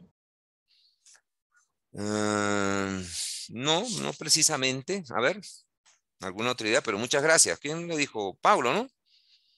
Fernando. Fernando, muy bien. Em, no, no es, no es por ello. Miren, fíjense, eh, los 24 voltios se considera una tensión, de, es la máxima tensión a la cual eh, puede estar expuesto un ser humano sin que le cause daño, ¿no? Entonces esos 24 voltios eh, van a evitar qué cosa, ¿no? Generalmente un espacio confinado va a ser, eh, puede energizarse si es sobre todo de material metálico, el espacio confinado, se puede energizar si utilizamos una tensión mayor por, el daño de un cable, se dañó un aislamiento de los cables y puede energizar a todo el espacio confinado. Entonces, para evitar eso, en el caso de las luminarias, no, la tensión de las luminarias no debe ser mayor a 24 voltios. Bien. Bueno, vamos a, irnos a un receso por un espacio de unos eh, cinco minutos, ¿no? Estaría, creo que estaría bien. No sé si estamos bien, José. Entonces, unos cinco minutos y nos volvemos a encontrar aquí en el aula, en el aula virtual. Bien, vamos a dar un, nos, nos vemos entonces de nuevo aquí en el aula virtual. Bien, nos vemos. Muy bien. Bien, continuamos entonces donde nos habíamos quedado con la parte de instalación de equipos. Eh, las luminarias pues deben de tener rejillas con protección, deben ser adecuadas para atmósferas explosivas, ¿no? En el caso, eh, en el caso que tengamos pues atmósferas explosivas, deben ser eh, esas luminarias para áreas clasificadas, ¿no? la alimentación también se, debe ser limitada en el caso de las luminarias, no superior a 24 voltios, ya que es la tensión límite en la cual no produce daños ¿no? a la salud. Y iluminación, equipos eléctricos. Bien. Vamos con lo en continua, también instalación de equipos uno de los equipos que más utilizados para lo que es el rescate, también para ascenso, descenso, el trípode, ¿no? Que debe ser en aluminio tratado con barras eh, cuadradas, ajustables de altura, eh, que debe estar entre un metro ochenta y dos metros cincuenta, ¿bien? Eh, también tenemos instalaciones equipos. Voy a poner esto aquí. También hay lo que es el monopié, ¿no? Como el que se muestra en la figura, debe ser totalmente articulado, eh, ser una base de fibra y regulable eh, de altura, ¿no? Eh, debe tener también un giro de 360 grados y, su único, y un único soporte para gancho, tal como se ve aquí en la figura. También tenemos lo que es eh, las instalaciones equipos, lo que son los extractores y ventiladores. ¿no? hemos dicho que en, mucho, en espacios confinados, eh, previamente, pues eh, se debe hacer una ventilación, ¿no? Si no es posible hacer la ventilación natural, pues se utilizan extractores y ventiladores para acelerar el proceso de eh, justamente de ventilación del, del espacio confinado. ¿no? Entonces debe ser adecuado y clasificado para el área de trabajo. ¿no? Entonces también es importante, de repente necesitamos em, aplicar esto o utilizar extractores, ventiladores, pero si tenemos que la atmósfera es inflamable, entonces también el equipo eléctrico, realmente son equipos eléctricos, deben ser para áreas clasificadas. ¿no? Entonces no hacemos nada con que ventilar el área, de repente de lo que son gases, vapores inflamables, pero los equipos que utilizamos, equipos eléctricos, no son adecuados para ese tipo de área. Entonces vamos a tener una explosión con, con el extractor o el ventilador. Si es el caso, estos extractores, ventiladores deben ser para áreas clasificadas. En caso de poseer una carcasa metálica, siempre que hay un equipo eléctrico que tenga carcasa metálica, esta debe estar colocada a tierra. Aquí vamos a ver. No debería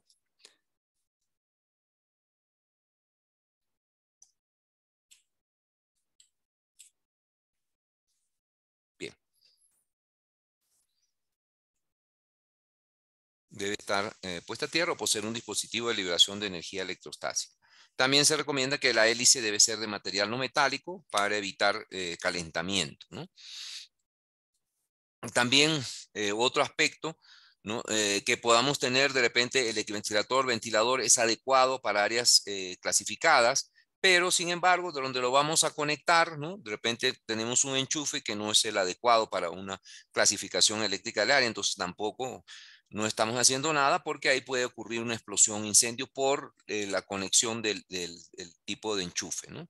Sobre todo a veces que también se modifican, ¿no? Lo cambiamos, se daña, reemplaza el enchufe y el enchufe que originalmente, si es para áreas clasificadas, debe ser también un enchufe adecuado, lo cambiamos por un eh, enchufe normal, pues y entonces ahí es donde puede haber un problema de explosión, incendio, ¿no? Bien, Em, lo otro, el ducto, ¿no? En caso también eh, de ser, eh, debe ser de poseer un sistema de puesta a tierra. Aquí está mal, siempre hay estas traducciones que son adecuadas. Es mejor. Se trae del, del inglés que generalmente... Bien. Entonces, los, dos ductos también que se utilizan para la extracción y ventilación, eh, si son metálicos, deben tener un sistema de puesta a tierra y si de material eh, o, pueden ser también un material no metálico resistente. ¿no? Eh, está prohibida la utilización de oxígeno puro para la ventilación. Ya sabemos que el oxígeno, en una atmósfera enriquecida en oxígeno, es muy peligrosa porque pues, favorece lo que es la explosión e incendio. ¿no? Bien, entonces, eh, seguimos.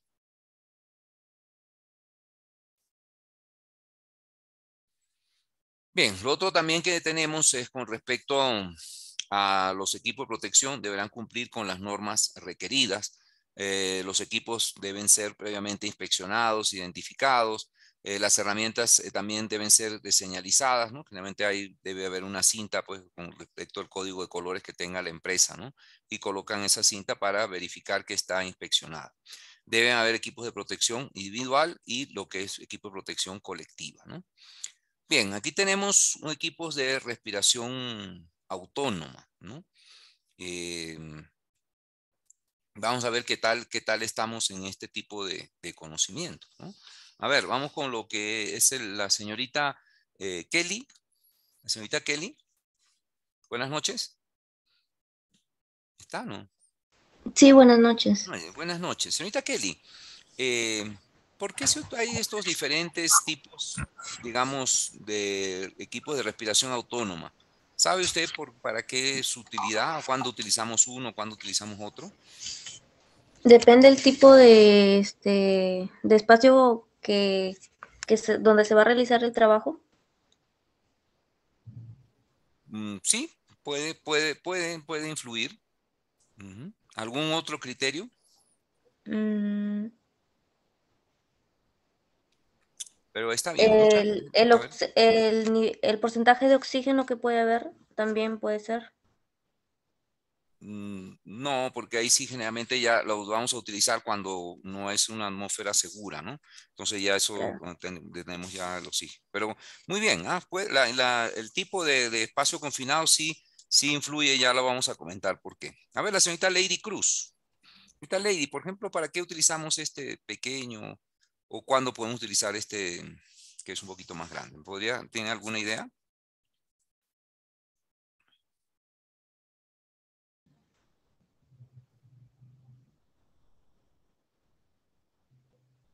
El señor César, quizás. César Prado, ¿no?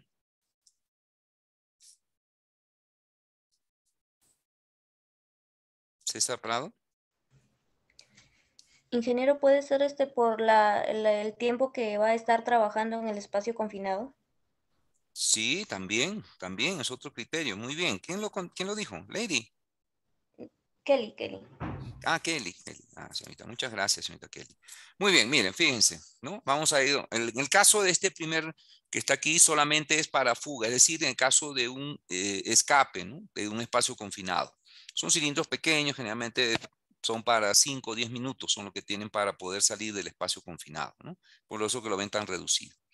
Eh, hay otro conjunto autónomo de aire respirable, que es el que se muestra aquí, que les decía, tiene que estar full face, ¿no? Una cara completa, ¿no? Tiene un arnés y en la espalda va el cilindro con eh, el, aire, ¿no? Eh, esto, ¿por qué es autónomo? ¿no?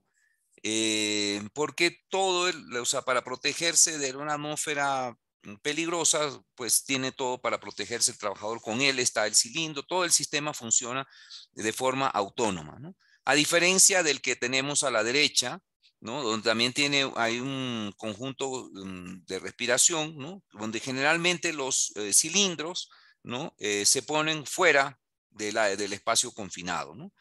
son cilindros que le van a dar un tiempo, una autonomía en, tiempo de trabajo mucho mayor, porque obviamente como al no estar en la espalda, pues pueden diseñar cilindros de mucho mayor tamaño, ¿no?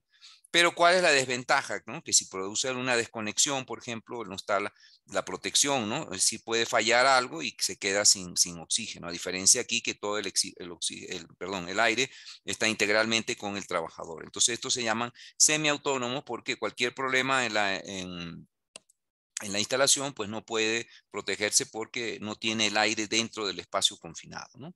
¿Cómo es que utilizan? Bueno, uno, lo que estaban comentando, ¿no? el factor de tiempo.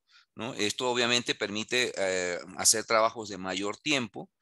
Eh, este pues, generalmente limitado a 30, 45 minutos, por lo que normalmente dura este, este cilindro. ¿no? Eh, la desventaja de este es sobre todo la entrada al espacio confinado, ¿no? Recordemos que las entradas a espacios confinados generalmente son limitadas, entonces a veces para ingresar con esto va a ser un poco complicado. Bien, a diferencia de esto que solamente debes pasar con una, con una manguera. Pero eh, también ¿no? hay que evaluar el tipo de atmósfera porque también este, esto puede llevar a un riesgo mayor. ¿no? Esto es más confiable porque todo el equipo está con el trabajador. Este es menos confiable porque puede, al ocurrir algún problema, no tiene eh, oxígeno que lo pueda respaldar. ¿no? Entonces, estos son los criterios, son diferentes equipos de respiración autónoma que se utilizan para espacios confinados. ¿no? Se utilizan sobre todo cuando hay una atmósfera IDLH, ¿no? que es inmediatamente dañina para em, el, perdón, eh, IPVS o IDLH en inglés, IPVS, que es inmediatamente peligroso para la vida y la salud. ¿no? IDLH es lo mismo, pero las siglas en inglés. Bueno, muy bien. Vamos ahora con lo que son pruebas eh, atmosféricas. Eh, ¿Cómo se deben realizar? Se deben realizar antes del ingreso al espacio confinado. Eh, ¿Quién lo debe realizar? Una persona que sea calificada. Debe mantenerse un registro del mantenimiento del equipo y debe realizarse con el sistema de ventilación en off-on, ¿no? Sí, entonces aquí para lo que son las pruebas atmosféricas, ¿no? Tenemos lo siguiente, ¿no? Eh, los equipos que se utilizan para la medición de agentes químicos y físicos en un espacio confinado deben poseer uno, un certificado de aprobación para uso en áreas clasificadas. Como no sabemos qué concentración tenemos de una atmósfera inflamable, de vapores inflamables o combustibles, ¿no? entonces eh, hay, estos equipos deben ser de todas maneras para aprobación en uso en áreas clasificadas. ¿no? Siempre deben ser para áreas clasificadas. Bien, también debe tener un certificado de calibración emitido por un laboratorio acreditado y registro de calibraciones con sus respectivos datos variables. ¿no? Entonces, aquí también es importante ¿no? Eh, cómo vayamos a adquirir este tipo de equipos. Eh, si los compramos, de repente, en un maestro o uso de IMAC, no sé, tener un equipo de estos, no es una buena elección por lo siguiente. Mm, probablemente no le van a decir que tiene que tener un kit de calibración para ese equipo, ¿no? cosa que un proveedor técnico que brinde asesoría técnica sí les va a, decir, no, mire, este equipo necesita ser adquirido con un kit de calibración. Entonces, ¿para qué? Para que ese kit de calibración ustedes puedan hacer las calibraciones eh, periódicamente, ¿no? pero eso es un kit que esa parte no viene con el equipo, es un kit eh, ¿Qué es lo que hace ese, eh, kit?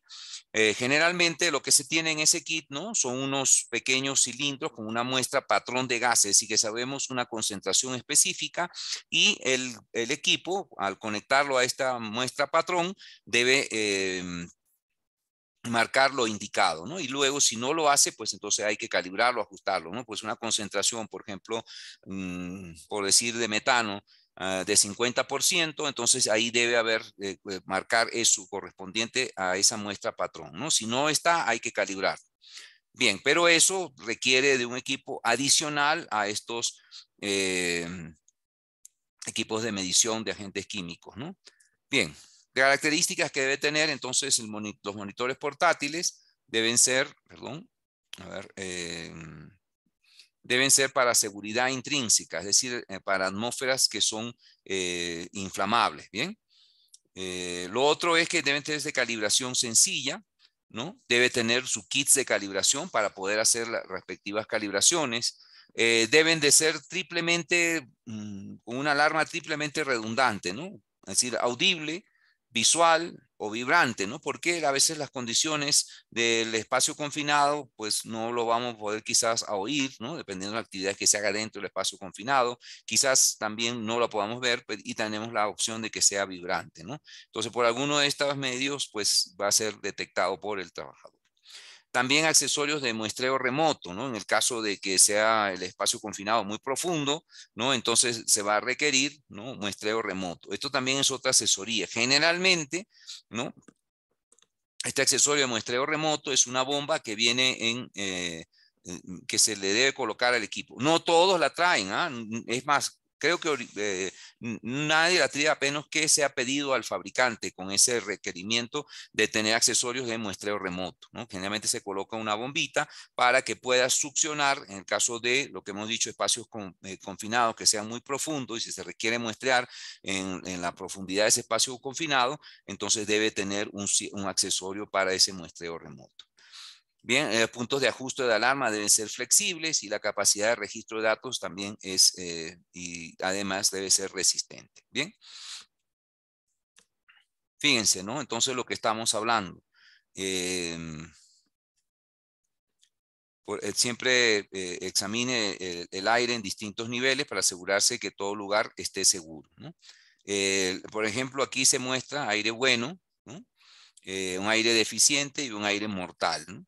Entonces, si nosotros tomamos solamente la medida en esta, ah, cerca, digamos, de la abertura, pues aunque el aire esté bueno, no significa que en todo espacio confinado esté bueno. ¿Por qué va a depender esto? ¿De qué va a depender esto que podamos tener una, digamos, eh, una mala medición? ¿no? Porque solamente, si solamente el agua a esta altura del, del espacio confinado va a ser aire bueno, pero sin embargo no va a ser bueno. ¿Por qué cómo, se puede producir esto? ¿Alguien sabe? La densidad. La densidad de, las, de, los, de los gases eh, o vapores que estén presentes dentro del espacio confinado. Obviamente, si la densidad de ese gas o de ese vapor es mayor que la del aire, va a tenderse a ir al fondo de este espacio confinado. Por otro lado, si son iguales, que también hay muchas sustancias que tienen una, densidad igual a la, del aire, quedarán en esta zona, y aquellas ¿no? que tienen una densidad con respecto al aire que menor, ¿no? obviamente van a estar en esta parte del, de, de este espacio confinado. Bien. Entonces es necesario muestrear. Para esto les digo, debe tener una bomba el equipo donde pueda succionarse a través de una manguera que debe llevar a esta profundidad.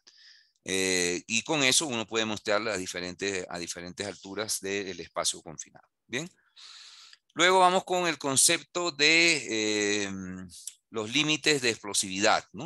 Las sustancias que, inflamables tienen un límite inferior y un límite superior de explosividad. Ya vamos a ver en qué consiste esto, ¿no? Em, entonces las sustancias que son inflamables tienen siempre un límite inferior y un límite superior de explosividad. ¿Cómo se refiere esto? No? Entonces, esto límite inferior de explosividad significa que por debajo de ese valor, ¿no? Em, la, la mezcla de la sustancia inflamable con el aire, o con, perdón, con el oxígeno, eh, hacen una mezcla pobre, ¿no? No, hay, no es posible mantener la combustión en estas eh, condiciones, ¿no? También hay un límite superior de explosividad, ¿no? Y esto es lo que es una, mm, aquí se produce una mezcla rica, ¿no? Entonces la mezcla rica hace el efecto también de la, eh, que no hay, no es posible ¿no? Eh, la combustión porque eh, la mezcla está en exceso, hay exceso de la concentración de ese gas inflamable. Entonces, ¿qué es lo que debemos evitar? Que, el, que la sustancia la estemos trabajando ¿no? o haya una concentración de, en que esté dentro de su gama de explosividad. ¿no? Por ello es que la concentración, en este caso, de lo que son sustancias inflamables debe estar por debajo de este límite inferior de explosividad. Generalmente, para trabajos eh, en general, ¿no? se establece un 10% ¿no? de ese límite inferior de explosividad. ¿no? Para trabajar debemos tener por máximo un 10%. En el caso de trabajos en caliente se recomienda tener 0% ¿no? de este rango inferior de explosividad. Bien, tenemos aquí eh, algunos valores de los límites de explosividad ¿no? para algunas sustancias eh, eh, inflamables. Bien, entonces tenemos lo que es las pruebas atmosféricas, tenemos lo que es el gas o vapor. En el caso del metano, su límite inferior de explosividad está en 7 y el superior en 15. ¿no? El de butano entre 1.9 y 8.5, en propano 2.15 a 9.6, el hidrógeno de 4.0 a 75, el acetileno de 2.5 a 85 y el monóxido de carbono de 12.5 a 74. Esos son los límites de explosividad, tanto superior como inferior. Bien.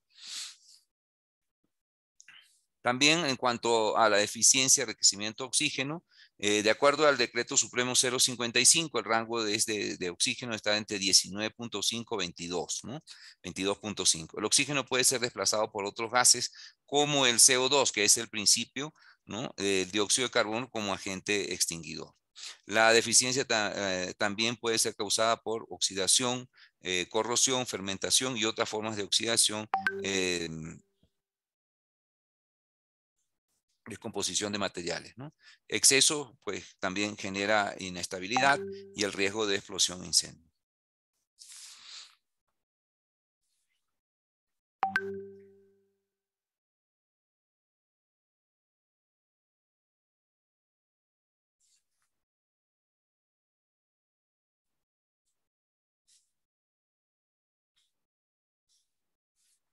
Bien, vamos a ver ahora también efectos de lo que es la deficiencia de oxígeno, ¿no? A ver, em,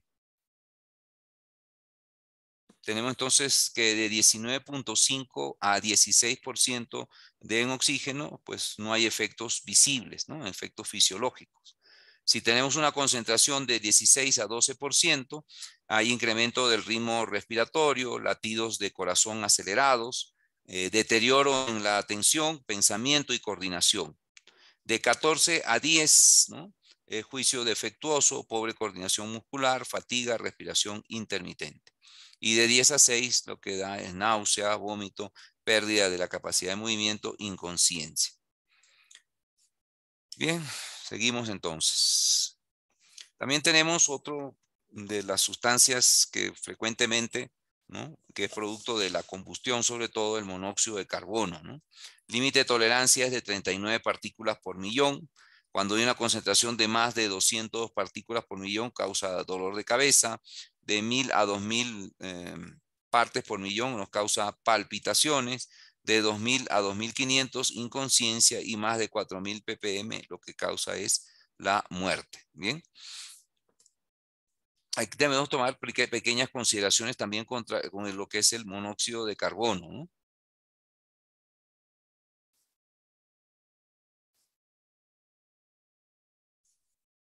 Con lo que es el monóxido de carbono.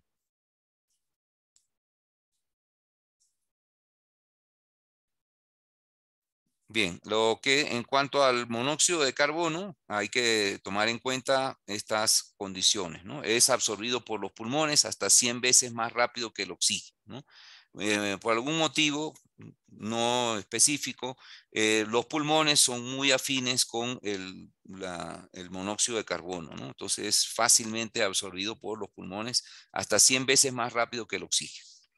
Y esto lo hace muy peligroso al monóxido de carbono. ¿no? También si se respira, aunque sea en cantidades moderadas, el monóxido de carbono puede causar la muerte por envenenamiento a pocos minutos porque sustituye al oxígeno en la hemoglobina de la sangre. Tiene una afinidad con el grupo M 200 veces, 220 veces mayor que con el oxígeno. Entonces, para alguna consideración, este monóxido de carbono es es absorbido por los pulmones hasta 100 veces más rápido y también tiene una afinidad con el grupo M 220 mayor que el oxígeno, ¿no? Para hacer, eh, eh, lo cual pues el monóxido de carbono lo hace muy peligroso. Veamos algunas concentraciones y efectos fisiológicos del monóxido de carbono. 200 ppm por 3 horas o 600 ppm por una hora da dolor de cabeza y malestar. 500 ppm por hora o 1000 ppm por 30 minutos, latidos fuertes del corazón, dolor de cabeza, vértigo, luces destellantes ante los ojos y zumbido en los, oídos y náuseas. ¿no? 1500 eh, ppm por una hora, peligroso para la vida, y 4000 ppm, colapso rápido, inconsciencia y la muerte en pocos minutos. Luego también tenemos lo que es el sulfuro de hidrógeno, también conocido como gas sulfídrico, eh, tiene una límite de tolerancia de 8 partículas por millón. De 50 a 100 ppm causa irritaciones, de 100 a 200 ppm problemas eh, respiratorios, de 500 a 700 ppm inconsciencia y más de 700 ppm la muerte. Eh, el, sulfuro de hidrógeno es considerado uno de los peores agentes ambientales agresivos para el ser humano. ¿Por qué? Porque en concentraciones medias inhibe el sentido del olfato, ¿no? Entonces ya una concentración media no lo vamos a poder detectar, ¿no? Eh, por nuestras vías, la, concentración ya no la detectamos, la concentración de sulfuro de hidrógeno. Entonces, eh, puede haber cualquier cantidad de, um, altas de concentraciones de H2S y no las vamos a percibir. Bien. Entonces, eh, el, sulfuro de hidrógeno, hidrógeno sulfurado, con una concentración de 18 a 25 ppm nos causa irritación a los ojos, de 75 a 150 por varias horas, irritación en las vías respiratorias, de 170 a 300 ppm por una hora, irritación acentuada, y de 400 a 600 por media hora, ¿no? O a una hora, inconsciencia para respiratorio y la muerte. Y a 1000 ppm es fatal en minutos, ¿no? Entonces, estas son eh, los efectos fisiológicos de, para diferentes concentraciones de hidrógeno sulfurado. Bien. Siempre entonces que se exceda un límite y no importa eh, por qué motivo, todo el personal deberá salir del lugar y nadie más puede entrar hasta que las condiciones atmosféricas regresen a un nivel de seguridad. Bien. Sistemas de ventilación. Eh, tenemos aquí diversos casos. En este tenemos, por ejemplo, la entrada, es eh, por ventilación natural, la entrada de aire, y lo que sí hay es una extracción. Bien, aquí tenemos también eh, entrada de, eh, de, aire fresco, ¿no? sin, en forma natural, y la extracción, así como el ventilador de extracción. También hay otros modelos, por ejemplo, en este caso estamos ventilando, ¿no? Y la salida de, los vapores es libre, ¿no? No hay extractor. También aquí puede haber un, soplador o, ventilador que pueda eh, impulsar, digamos, ¿no? la, la, corriente hacia esta salida, digamos, que es libre, ¿no? O sea, por ventilación natural. Entonces tenemos impulsando y saliendo en forma libre eh, y otros casos, ¿no? Eh, también hay extracción forzada y pues la ventilación es libre, ¿no? Entonces el sistema de ventilación, el que se adecue más a sus condiciones debe ser elegido de acuerdo a eso, ¿no? Bien. A ver, entonces tenemos aquí.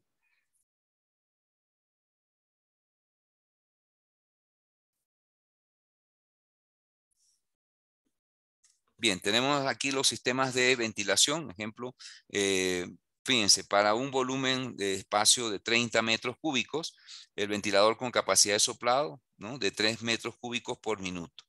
¿no? Entonces, si yo quiero eh, saber cuánto es el tiempo que debo ventilar, aplico esta fórmula aplicando 8 eh, por 30 entre 3, ¿no? Nos da 240 240 entre 3. ¿no? La ventilación se realiza en 80 minutos. Bien, esto es como podemos calcular el tiempo de ventilación de ese espacio confinado, teniendo, sabiendo el, volumen y el, ventilador con la capacidad de soplado. Bien. Muy bien, entonces vamos a ver algunos casos ¿no? de lo que refiere a espacios confinados. ¿no? Em, a ver, eh, lo podemos comentar luego con algunos de ustedes, ¿no? A ver, vamos con este primer caso, ¿no? Es de un accidente y luego lo vamos a comentar las causas, por favor, con alguno de ustedes, ¿bien? Me dicen si se escucha, por favor.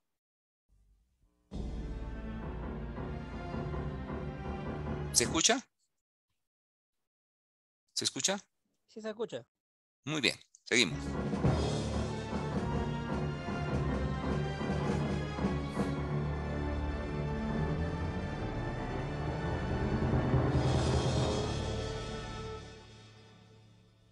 En un trabajo pueden ocurrir muchas cosas. Esto es lo que les pasó a dos trabajadores a quienes se les asignó un trabajo en un espacio limitado. Veamos lo que pasó.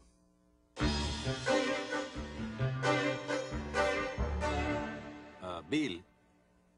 Bill. Bill, ven, por favor. Ven. Ah, Bill, te tengo un trabajo que hay que hacer. El trabajo debe quedar terminado hoy y tiene que hacerse sin ningún tiempo extra. ¿Entendido? De acuerdo. ¿Qué tenemos que hacer? Ante todo, olvidarse de ese café. No se permiten bebidas ni comidas en esta área. ya lo saben bien. Después tienen que limpiar el tanque de tolueno número 5, pero bien limpio. Hay un contratista que vendrá mañana para cortar una abertura en el fondo y no puede quedar fango alguno allí. ¿Entendido? Sí. Ah, eh. él es Jim. Jim, él es Bill. Eh, él es el nuevo obrero que contraté ayer. Explícale lo que debe hacer. ¿Qué están esperando? ¿Una invitación? Andando. Ven.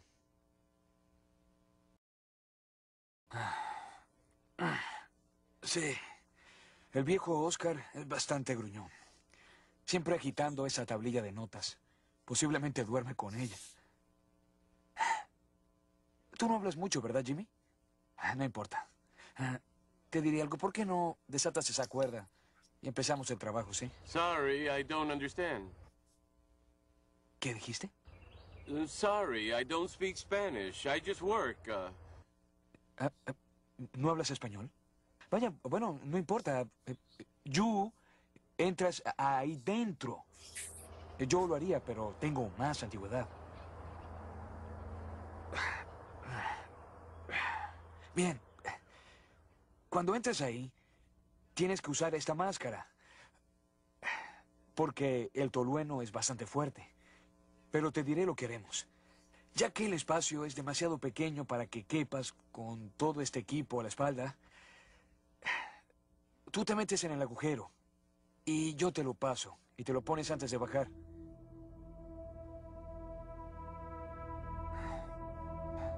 Jimmy.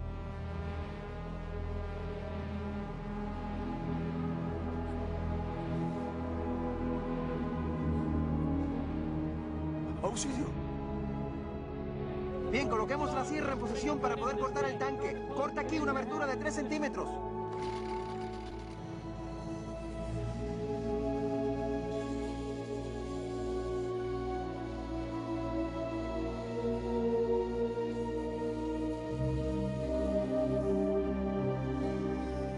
Equipo 41 a jefe 40.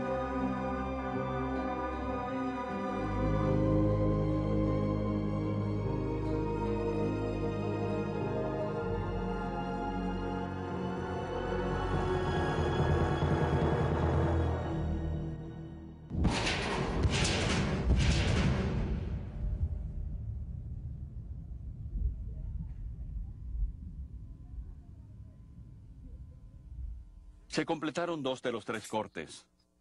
El tercero estaba terminado en un 95% cuando las chispas inflamaron las sustancias que había dentro del tanque. El resultado fue la muerte de uno de los bomberos y la de Jimmy, el hombre atrapado dentro. Bien. A ver, vamos a ver con señorita eh, Lady Cruz. Señorita Lady Cruz, buenas noches.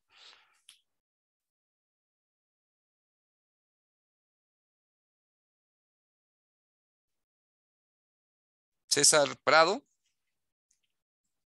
César Prado. Sí, buenas noches. Buenas noches. A ver, César, ¿cuál sería la causa de este accidente en un espacio confinado? A ver, coméntame, por favor. Eh, bueno, para empezar, ¿no? Que producto de, de no hablar el mismo idioma, eh, para empezar, ¿no? El, el primer trabajador que entra sin ningún tipo de EPPs, ¿Mm? ningún tipo de... No se hizo tampoco la verificación de este, ¿no? En la medida de la, de la atmósfera, ¿no? ¿Qué tipo de... No hay, ¿no? No se hizo, no se hizo ningún tipo de medición. El tolueno es una sustancia sumamente inflamable, muy volátil, ¿no? El tolueno. Es un derivado de hidrocarburos. Claro, el, el personal bombero que vino tampoco creo que desconocía de ello, ¿no? Porque se fueron a hacer cortes que lejos de ayudar se provocó un daño mucho más, más grande de lo que ya tenía. Sí. Eso, eso también ocurre, César, ¿ah? Porque no, los bomberos no pueden tener conocimiento de todos los productos que hay en el, en el mercado, ¿no?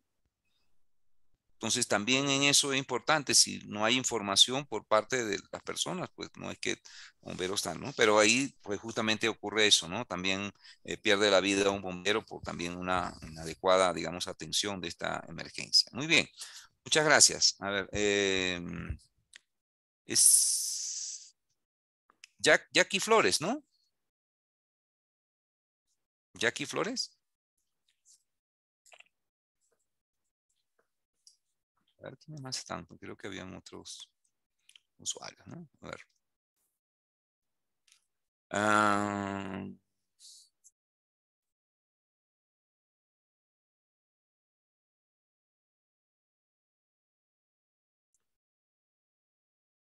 José, José Antón.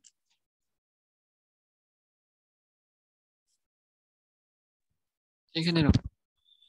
A ver, ¿qué, alguna otra causa aparte de lo que mencionó ya tu compañero César, eh, José? Sí, ingeniero. Este, como el, el personal, el personal era nuevo, entonces eh, iba a ingresar a un espacio confinado, pues no se le dio la capacitación o el conocimiento que, que se requería, pues, ¿no? Aparte que, aparte que no se le asignó también a un vigilante y a un, a un supervisor, ¿no? Que tendría que estar en, este, en constante comunicación con, con la persona. Y otro, y otro, pues, este, es el idioma, pues no, no hablaban y, No, una buena y comunicación. Ajá. Ya, muy bien, perfecto. Muchas gracias, gracias, Antón. A ver, Cristian Cárdenas.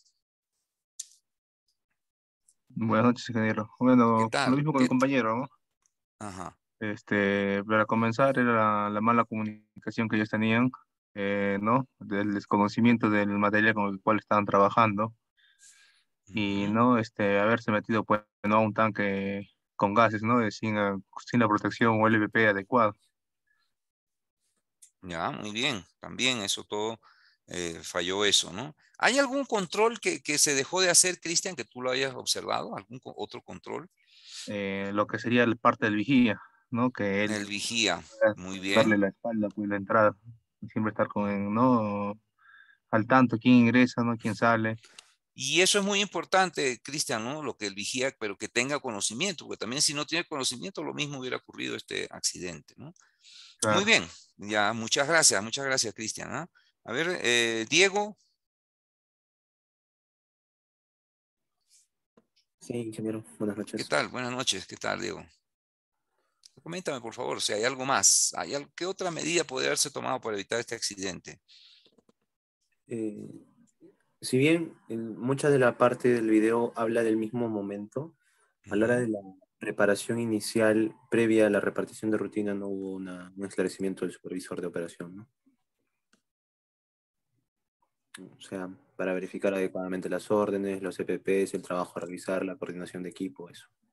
Ya, sí, entonces justamente por eso, ¿no? Siempre en un espacio confinado, y, y todas las normas lo indican eso, debe haber un permiso de trabajo para ingresar a un espacio confinado, que aquí tampoco no se ve, ¿no? Ni, ni eso ni ninguna otra herramienta de gestión. Muy bien, muchas gracias, Diego, ¿ah? muy amable. Eh, bueno, vamos a continuar con lo donde nos habíamos quedado en este video. Un espacio que vean lo que está. tiene las siguientes características. Su forma y tamaño permiten la entrada de una persona. Tiene un número limitado de entradas y salidas. Y no está diseñado para ser ocupado continuamente. Un espacio limitado que requiere autorización se identifica por lo siguiente. Contiene o podría contener una atmósfera peligrosa. El material contenido puede atrapar a una persona. Su forma interna puede ocasionar que una persona quede atrapada o asfixiada entre paredes convergentes o por un piso inclinado hacia abajo. Una atmósfera peligrosa es solo uno de los muchos peligros que pueden existir en un espacio limitado. En una atmósfera peligrosa es posible que no haya oxígeno suficiente para mantener la vida, o puede ser inflamable o tóxica. Debido a estos peligros, la entrada se define como la colocación de cualquier parte del cuerpo dentro del espacio. En el caso de este accidente, ya que se trataba de un espacio limitado que requería autorización, debió realizarse un examen de la atmósfera y ventilarse el lugar antes de entrar en el tanque. Debió seleccionarse de antemano el equipo respiratorio adecuado y tener en cuenta las limitaciones físicas y los procedimientos de trabajo. Y como era una entrada vertical, la persona que ingresó debió utilizar un arnés unido a una línea de retorno y a un dispositivo mecánico tal como un trípode o un polipasto. Este sistema de rescate asegura que el vigilante pueda sacar con seguridad a la persona que ingrese en el interior. El entrenamiento de los que entran y los que vigilan debe garantizar el conocimiento adecuado de las medidas de seguridad a seguir. En este caso, la barrera del lenguaje, que impidió que se pudieran comunicar los peligros del espacio, fue posiblemente la causa del accidente. También antes de entrar, una persona calificada debe realizar una evaluación para reducir el riesgo de la persona que ingresa. Muy bien. Bien, vamos a ver este caso número dos. Bien. Luego también lo comentamos con algunos de ustedes. Sam es empleado de la división. ¿Se escucha? ¿Se escucha? Me dicen si se escucha, por favor. ¿Se escucha? Bien bajo se escucha. Sí, ingeniero, se escucha. A ver, vamos a ponerlo. Vamos a subirlo un poquito. No, no hay más, ¿no? Pero a ver. muy bien. A ver. de distribución de agua de una ciudad del medio oeste. Está a cargo de la lectura de los medidores de agua y tiene mucho trabajo. 76 medidores que leer hoy.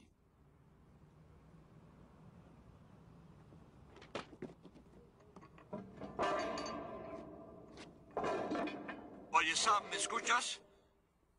Sam, soy Frank. ¿Dónde estás? Sam, si me escuchas, llámame.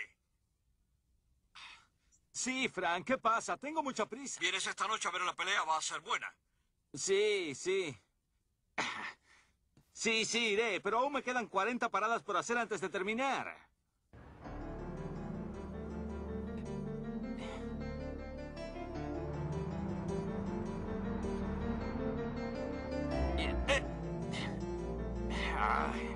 Con tanto trabajo extraordinario nunca voy a terminar.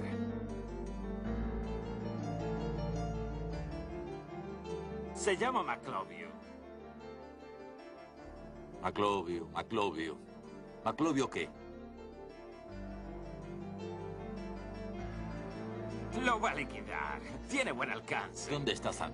¿Llegará a tiempo? Sí, dijo que vendría. Hoy le tocó la ruta del oeste. Ya sabes lo que pasa cuando te toca esa ruta. Terminas al anochecer. Raquel, llama a Sam otra vez. Está retrasado.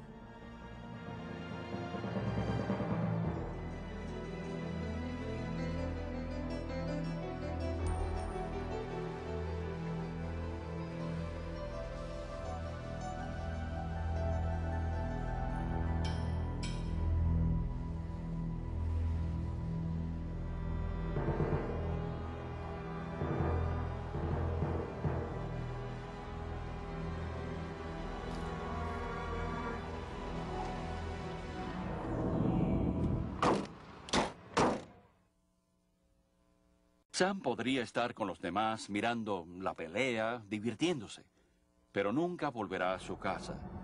Fue declarado muerto a las 9.31 pm después que resultaron inútiles todos los esfuerzos para revivirlo. Bien, a ver, vamos a continuar con ustedes y sus análisis. Eh, la señorita Lady Cruz.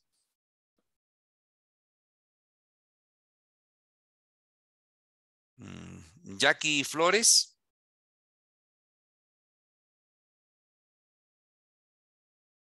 La señorita Rosario Hernández.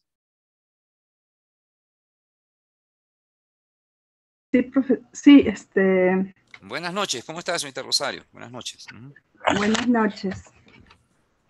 A ver, coménteme, ¿cuál sería la causa de este segundo video, la causa del accidente que se muestra en este segundo video de espacios confinados? Adelante, por favor. Desde, desde, el inicio se ve que este, hay exceso de trabajo, ¿no? Él está este, como estresado, con, con alguna este, tema psicosocial, ¿no? Parece que está así como estresado, ¿no? Por el exceso de trabajo eh, y un poco distraído. Y al momento de ingresar, ingresa solo, ¿no? Ingresa solo, no, no está tan concentrado en el, eh, en el espacio que está ingresando y bueno, y pasa eso, pues, ¿no? Ya, muy bien. Muy bien, muchas gracias, señorita Rosario. Muy, muy amable. A ver, vamos con alguno más. Eh.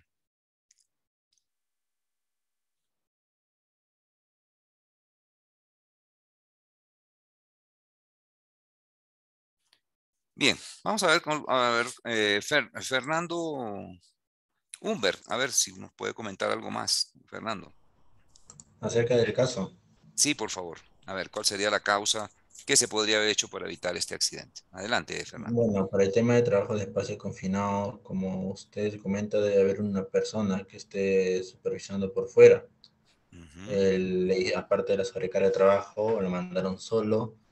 Eh, no tenía los implementos de seguridad aparte en caso de que hubiera contaminación, problemas.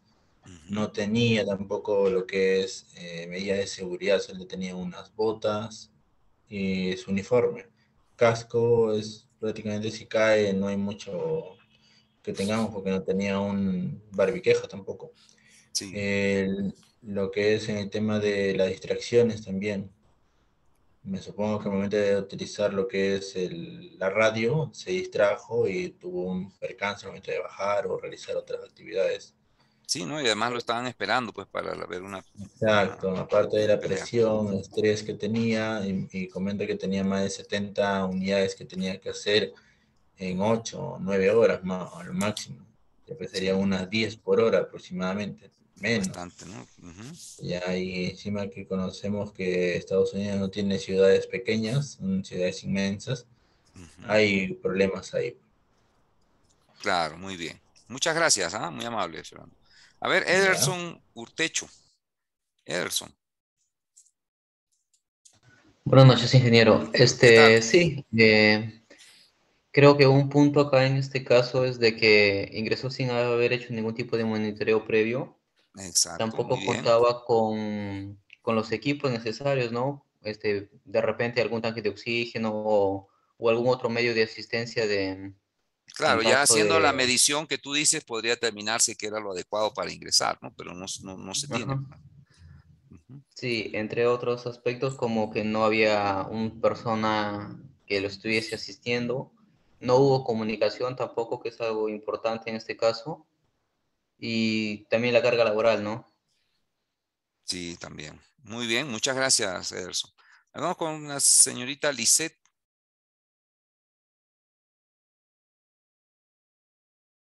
Señorita Lice.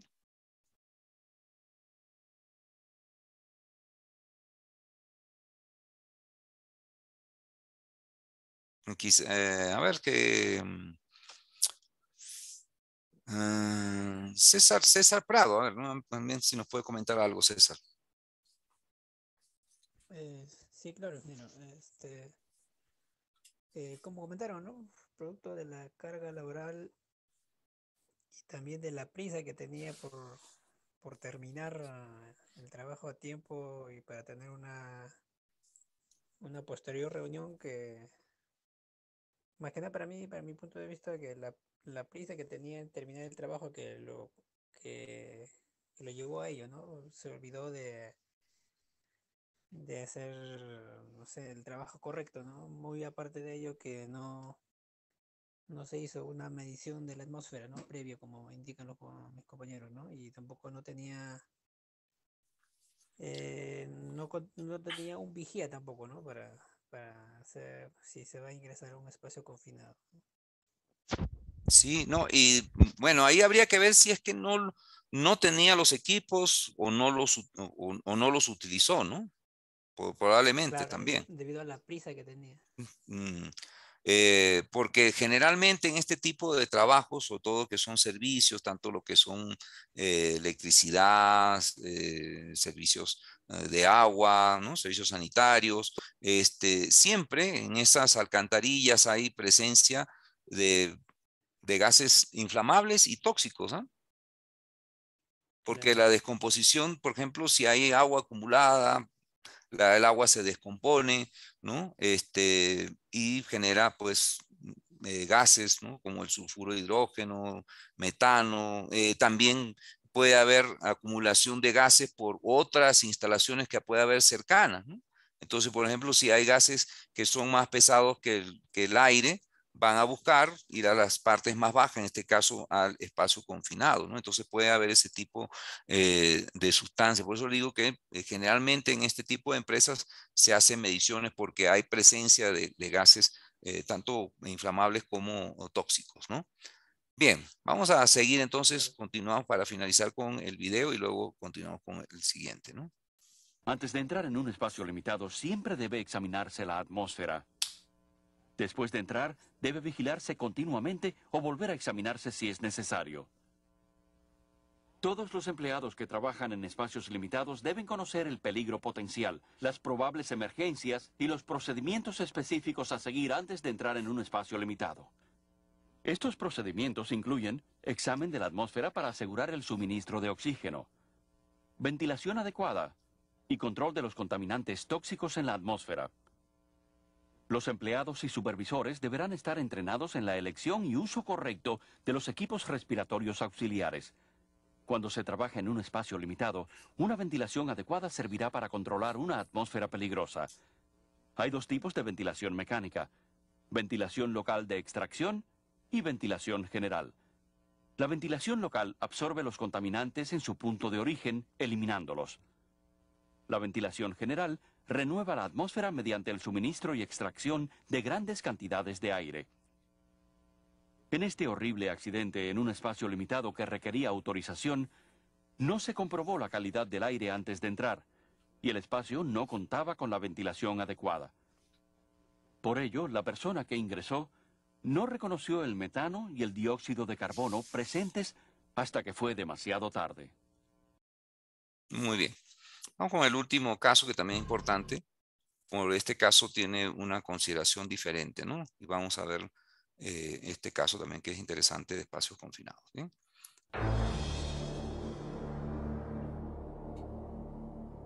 Hoy Glenn debe soldar con oxiacetileno el vaso de un antiguo reactor. Como las pruebas demostraron que no había suficiente oxígeno y el higienista de la empresa notó partículas dentro del reactor, Glenn utilizará un suministro de aire.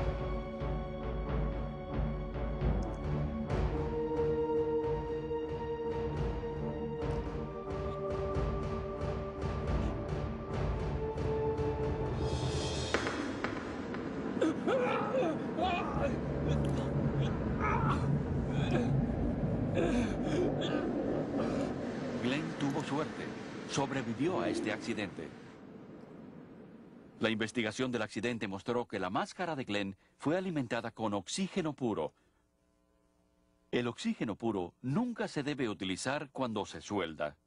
Por eso la rosca de un cilindro de oxígeno es diferente a la de uno de aire tipo D, que es el apropiado para esta aplicación. La persona que conectó este cilindro utilizó un adaptador que eliminó ese dispositivo de seguridad integrado. Una fuga de oxígeno en la manguera de alimentación provocó que la máscara explotara, incendiándose. Aunque Glenn era un soldador experto, el no haber examinado de antemano el equipo le ocasionó dolorosas quemaduras en el rostro. Las personas que trabajan en espacios limitados deben, por su bien y el de sus compañeros, Conocer los peligros que ofrece un espacio limitado. Planear la entrada anticipadamente y acogerse a las medidas de seguridad pueden salvarle su vida. Antes de entrar a un espacio limitado, verifique que el permiso está completo, firmado y autorizado. Se ha levantado una barrera alrededor del espacio. Las líneas de entrada han sido tapadas, desconectadas u obstruidas. Se ha realizado la clausura y rotulación de cualquier equipo eléctrico. El espacio está ventilado. Hay a mano todo el EPP necesario. Todos conocen el plan de acción ante emergencias y los procedimientos de rescate. Para examinar la calidad de la atmósfera en un espacio limitado, deberá realizarse una prueba desde el exterior, así como pruebas periódicas mientras el espacio esté ocupado. Todo el EPP y los sistemas respiratorios de emergencia necesarios deben hallarse a disposición en el lugar, y listos para ser utilizados si fuera necesario. La seguridad al entrar en espacios limitados requiere de atención a todos los detalles y es un esfuerzo de equipo. Así que prepárese, esté alerta y trabaje en equipo. Bueno, muy bien. Entonces estos son los videos que eh, de espacios confinados. Vamos a continuar entonces con la última parte que refiere a lo que son planes de emergencia. Bien. ¿Hay alguna pregunta hasta aquí?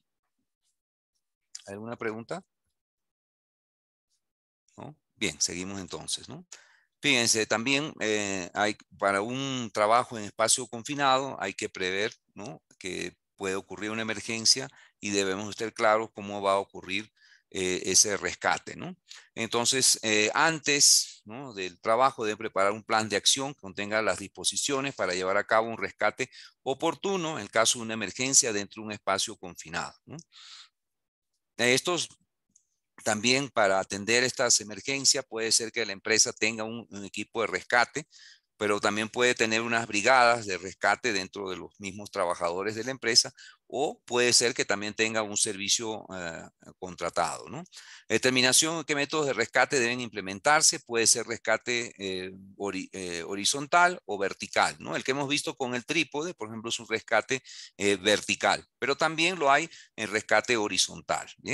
Determinación del tipo y disponibilidad de equipo apropiado necesario para rescatar o recuperar a los que ingresan. Esto todo debe determinarse antes de ingresar al espacio confinado designación del personal de rescate entrenado que esté disponible si se llevan a cabo ingresos a los espacios confinados, ¿no? Entonces siempre debemos ver, bien sea personal propio o personal externo, ¿no? ¿Quién va a estar encargado del rescate en caso que ocurra una emergencia, ¿no? No es que ocurra emergencia y vamos a ver quién, cómo lo, sacamos. Eso es, eso es una improvisación tremenda que va a llevar probablemente a tener o más lesionados o a la persona no pueda ser eh, rescatada, ¿no?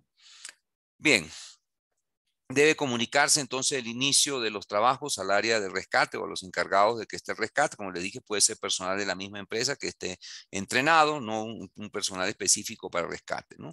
También puede ser un servicio externo. Determinar él o los riesgos del espacio confinado en particular. ¿no?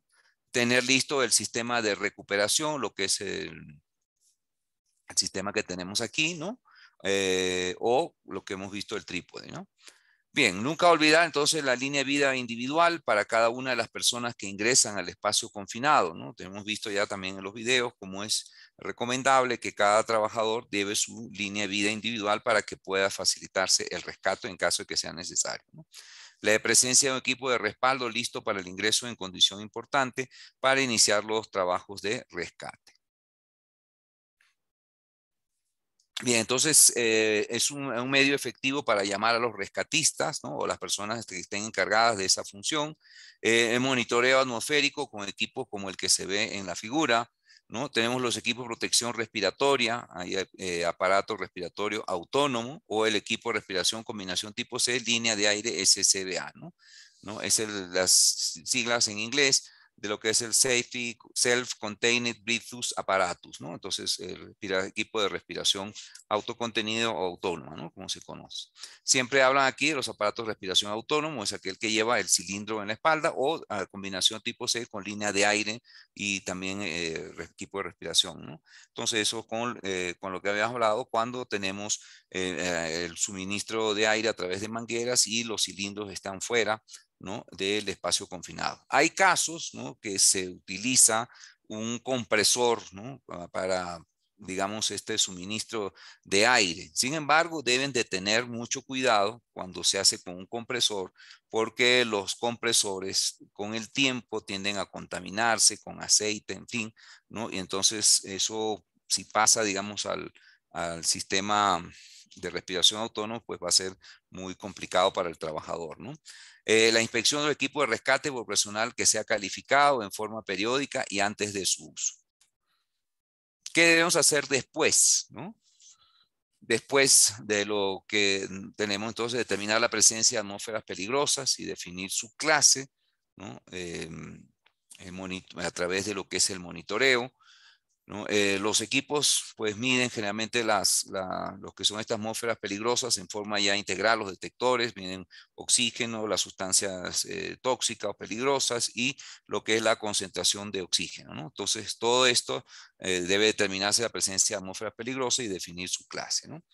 Evacuación cuando se identifiquen ciertos riesgos durante un ingreso y recuperación eh, por miembros del equipo de ingreso utilizando métodos que no requieren el ingreso, ¿no? Es la otra forma que se puede hacer, ¿no? Entonces, eh, por ejemplo, con este tipo de todo el personal de rescate está afuera del espacio confinado, ¿no? Entonces, recuperación por miembros del equipo de ingreso utilizando métodos que no requieren su ingreso. Bien, entonces, esto es eh, con respecto al tema, ¿no? Bien, Vamos a ir con una actividad, a ver qué eh, está, mm, deme unos segundos por favor, antes de terminar. ¿no? Eh, vamos, permítame compartir. Ah.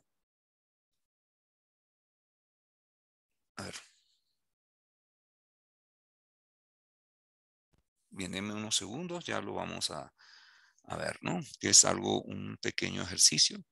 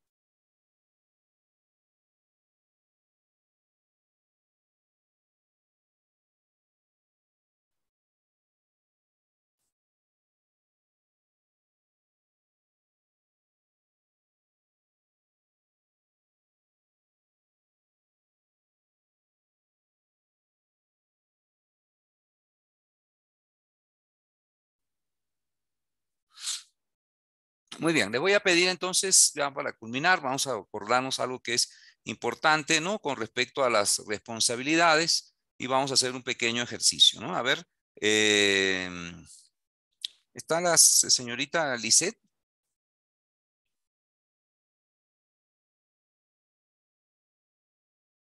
La señorita, a ver, si hay algún eh, voluntario que pueda participar.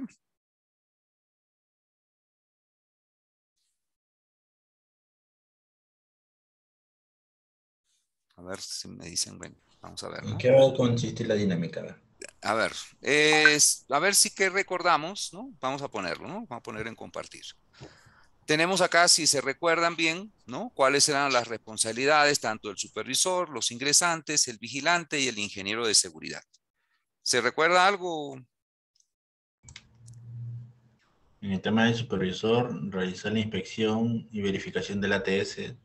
Eh, a ver, vamos a ver. Vamos a preguntarle así. ¿Quién es eh, Pablo, no? Fernando. Fernando. A ver, Fernando. ¿Qué te recuerdas que es eh, quién debe ingresar solo si tiene la autorización completa? ¿El supervisor, los, ingresantes. Los ingresantes, muy bien, ¿Quién debe mantener a las personas eh, no autorizadas fuera del espacio confinado? El supervisor. ¿Seguro? El vigilante, ingeniero. El vigilante, muy bien, perfecto. ¿Quién debe seguir los procedimientos de aislamiento y de bloqueo? Los en el caso los ingresantes, muy bien. ¿Quién debe asegurar el equipo de rescate en el lugar del espacio confinado? Eh, los ingresantes dentro. O el vigilante. no, el vigilante, el vigilante, muy bien. ¿Quién debe salir del, del espacio confinado si muestra condiciones peligrosas? Los ingresantes. A los ingresantes, muy bien.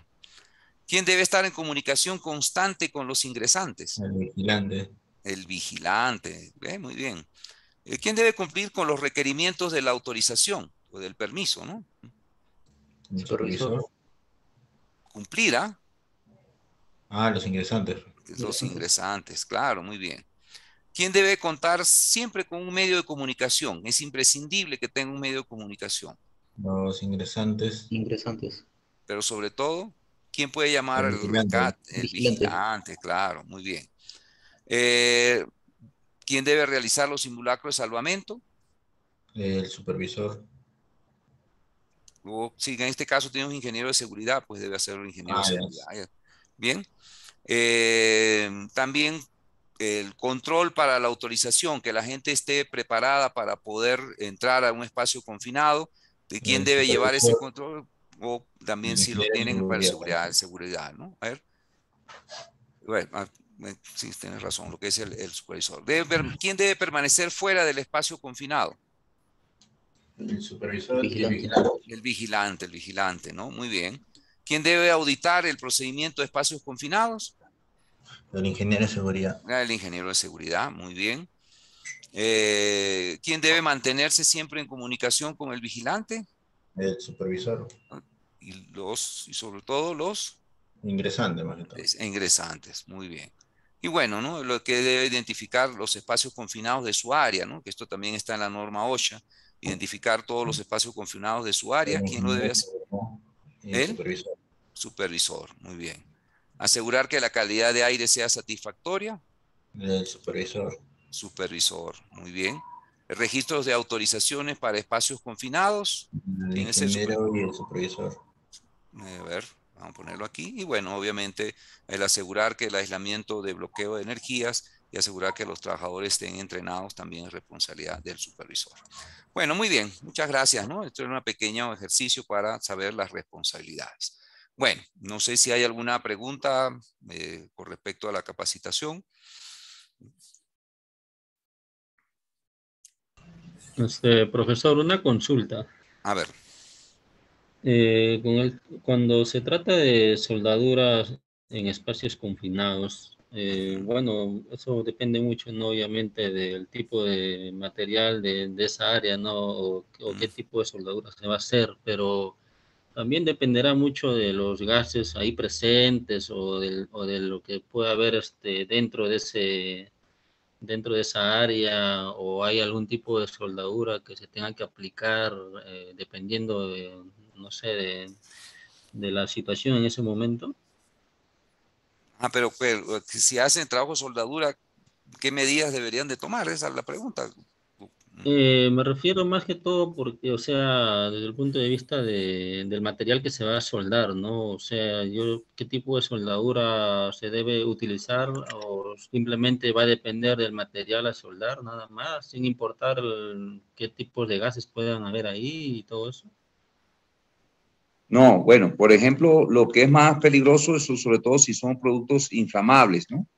Eh, entonces eso debes de asegurar que no haya residuos de eso. Para eso hay diferentes métodos, eh, por ejemplo, con las sustancias que son inflamables, por ejemplo, como el caso del, que se vio el, el video, el, tolueno, ¿no?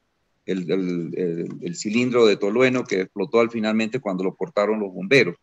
Entonces eso, por ejemplo, debe estar completamente eh, limpio, o sea, se utiliza, uno de los métodos es eh, el eh, agua, ¿no? Haber lavado los, los cilindros, haberlos ventilado, aireado y todo, todo después haberlo lavado, ¿no? Hay distintos métodos, también lo puede hacer por, ventilación nada más, pero pues debe garantizarse que tengas una concentración de gases inflamables de 0%, porque si no te va a ocurrir esa explosión que hubo con el video. Y por otro lado, si en el trabajo de soldadura, para que también eso genera misma soldadura humos, ¿no? También debes de tener sistemas de extracción, ventilación, como vimos en algunos de los videos. Entiendo, entiendo. Pero, eh, mira, cuando las sustancias, si son derivados de hidrocarburos, tienen que tener muchísimo cuidado y hasta que haya una concentración de cero, cero de, inflamabilidad, no puedes hacer trabajo soldadura, porque va a ocurrir lo que ocurrió al bombero. Mm, entonces, este, ¿qué tan confiable puede ser el hecho de hacer una prueba ¿no? con detector de gases, eh, aún, aún si me marca ¿no? que no hay, este, no hay algunos gases o residuos de gases que estén en un porcentaje de inflamabilidad? Eh, ¿Qué tanto yo puedo confiar en eso? ¿no? Claro, lo que pasa es que tienes que lograr, porque a veces, como tú dices, puede ser que eh, no logres con una ventilación por eso que también hay métodos de, llenar los recipientes con agua, Para poder desplazar todos los, vapores que hay ahí. Se hace también lavados de esos tipos de espacios confinados. Eh, también, aparte de eso, en, casos también extremos, se puede desplazar todos esos vapores con lo que es los gases inertes, por ejemplo, el nitrógeno. Mm. O sea, hay, metodologías, una más sencilla, pues obviamente es la, ventilación, ¿no? Que, es, que también nos lleva, pues obviamente eh, ahí también debes considerar, por ejemplo, si es ya un área de, clasificada, ¿no? No puedes utilizar cualquier, como les dije, cualquier ventilador, cualquier extractor, sino que debe ser adecuado para ese tipo de áreas y poder ventilar, si no, también vas a tener una explosión. Pero no, sí se logra y esos trabajos, imagínate, en las refinerías y en todo eh, se utiliza, se hace trabajos en espacios, los tanques necesitan mucho mantenimiento y eso es lo que hay que tomar las medidas preventivas. Y hasta que no hayan las condiciones no se puede hacer el trabajo. El tiempo en que tarda... Sí, este, eh, ¿hay algún documento, no, de parte de algún área o la supervisión, en todo caso, que de alguna manera eh, se pueda verificar, no, que se pueda autorizar ese, ese trabajo, no, fuera antes de, permisos de trabajo en caliente, espacio confinado. exactamente, ¿no? Y ahí te preguntan esos permisos, por ejemplo, lo que son eh, empresas de hidrocarburos, tienes que garantizar de que si has aplicado, qué metodología has aplicado para poder eh, tener una atmósfera eh, que no tenga gases inflamables, ¿no? Mm. Dentro de esos mismos permisos está establecido una, en, su checklist, está, está, ese tipo de preguntas, si ha sido purgado, drenado, lavado, etc. Mm, no, ya. Está bien.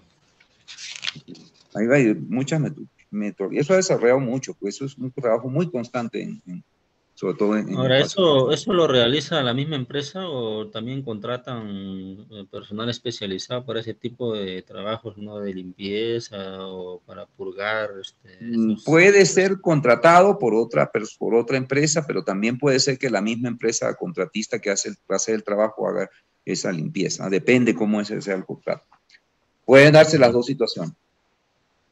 Ah, ya. Ahora, este, una vez eh, podríamos decir, si el caso fuera que lo, le dan un lavado, ¿no? Eh, ¿Es este inmediato el trabajo que se tiene que realizar o todavía tiene que pasar algún tiempo? Tiene que haber las condiciones, pues.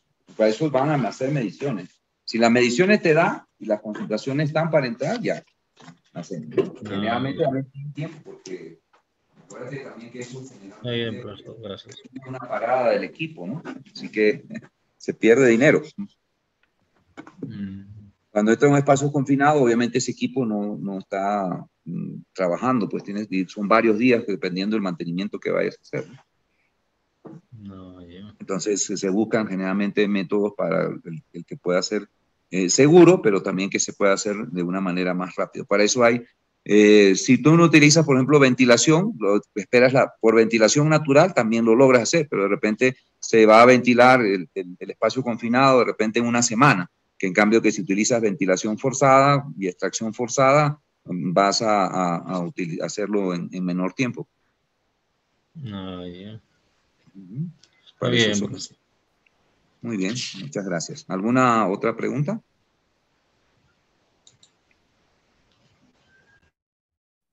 ¿No? Bueno, entonces darle las gracias por estar acompañándome hasta estas altas horas de la noche de un día domingo. Y bueno, José, entonces, si no hay más nada, también me voy a retirar. Muchas gracias a todos y que tengan buenas noches.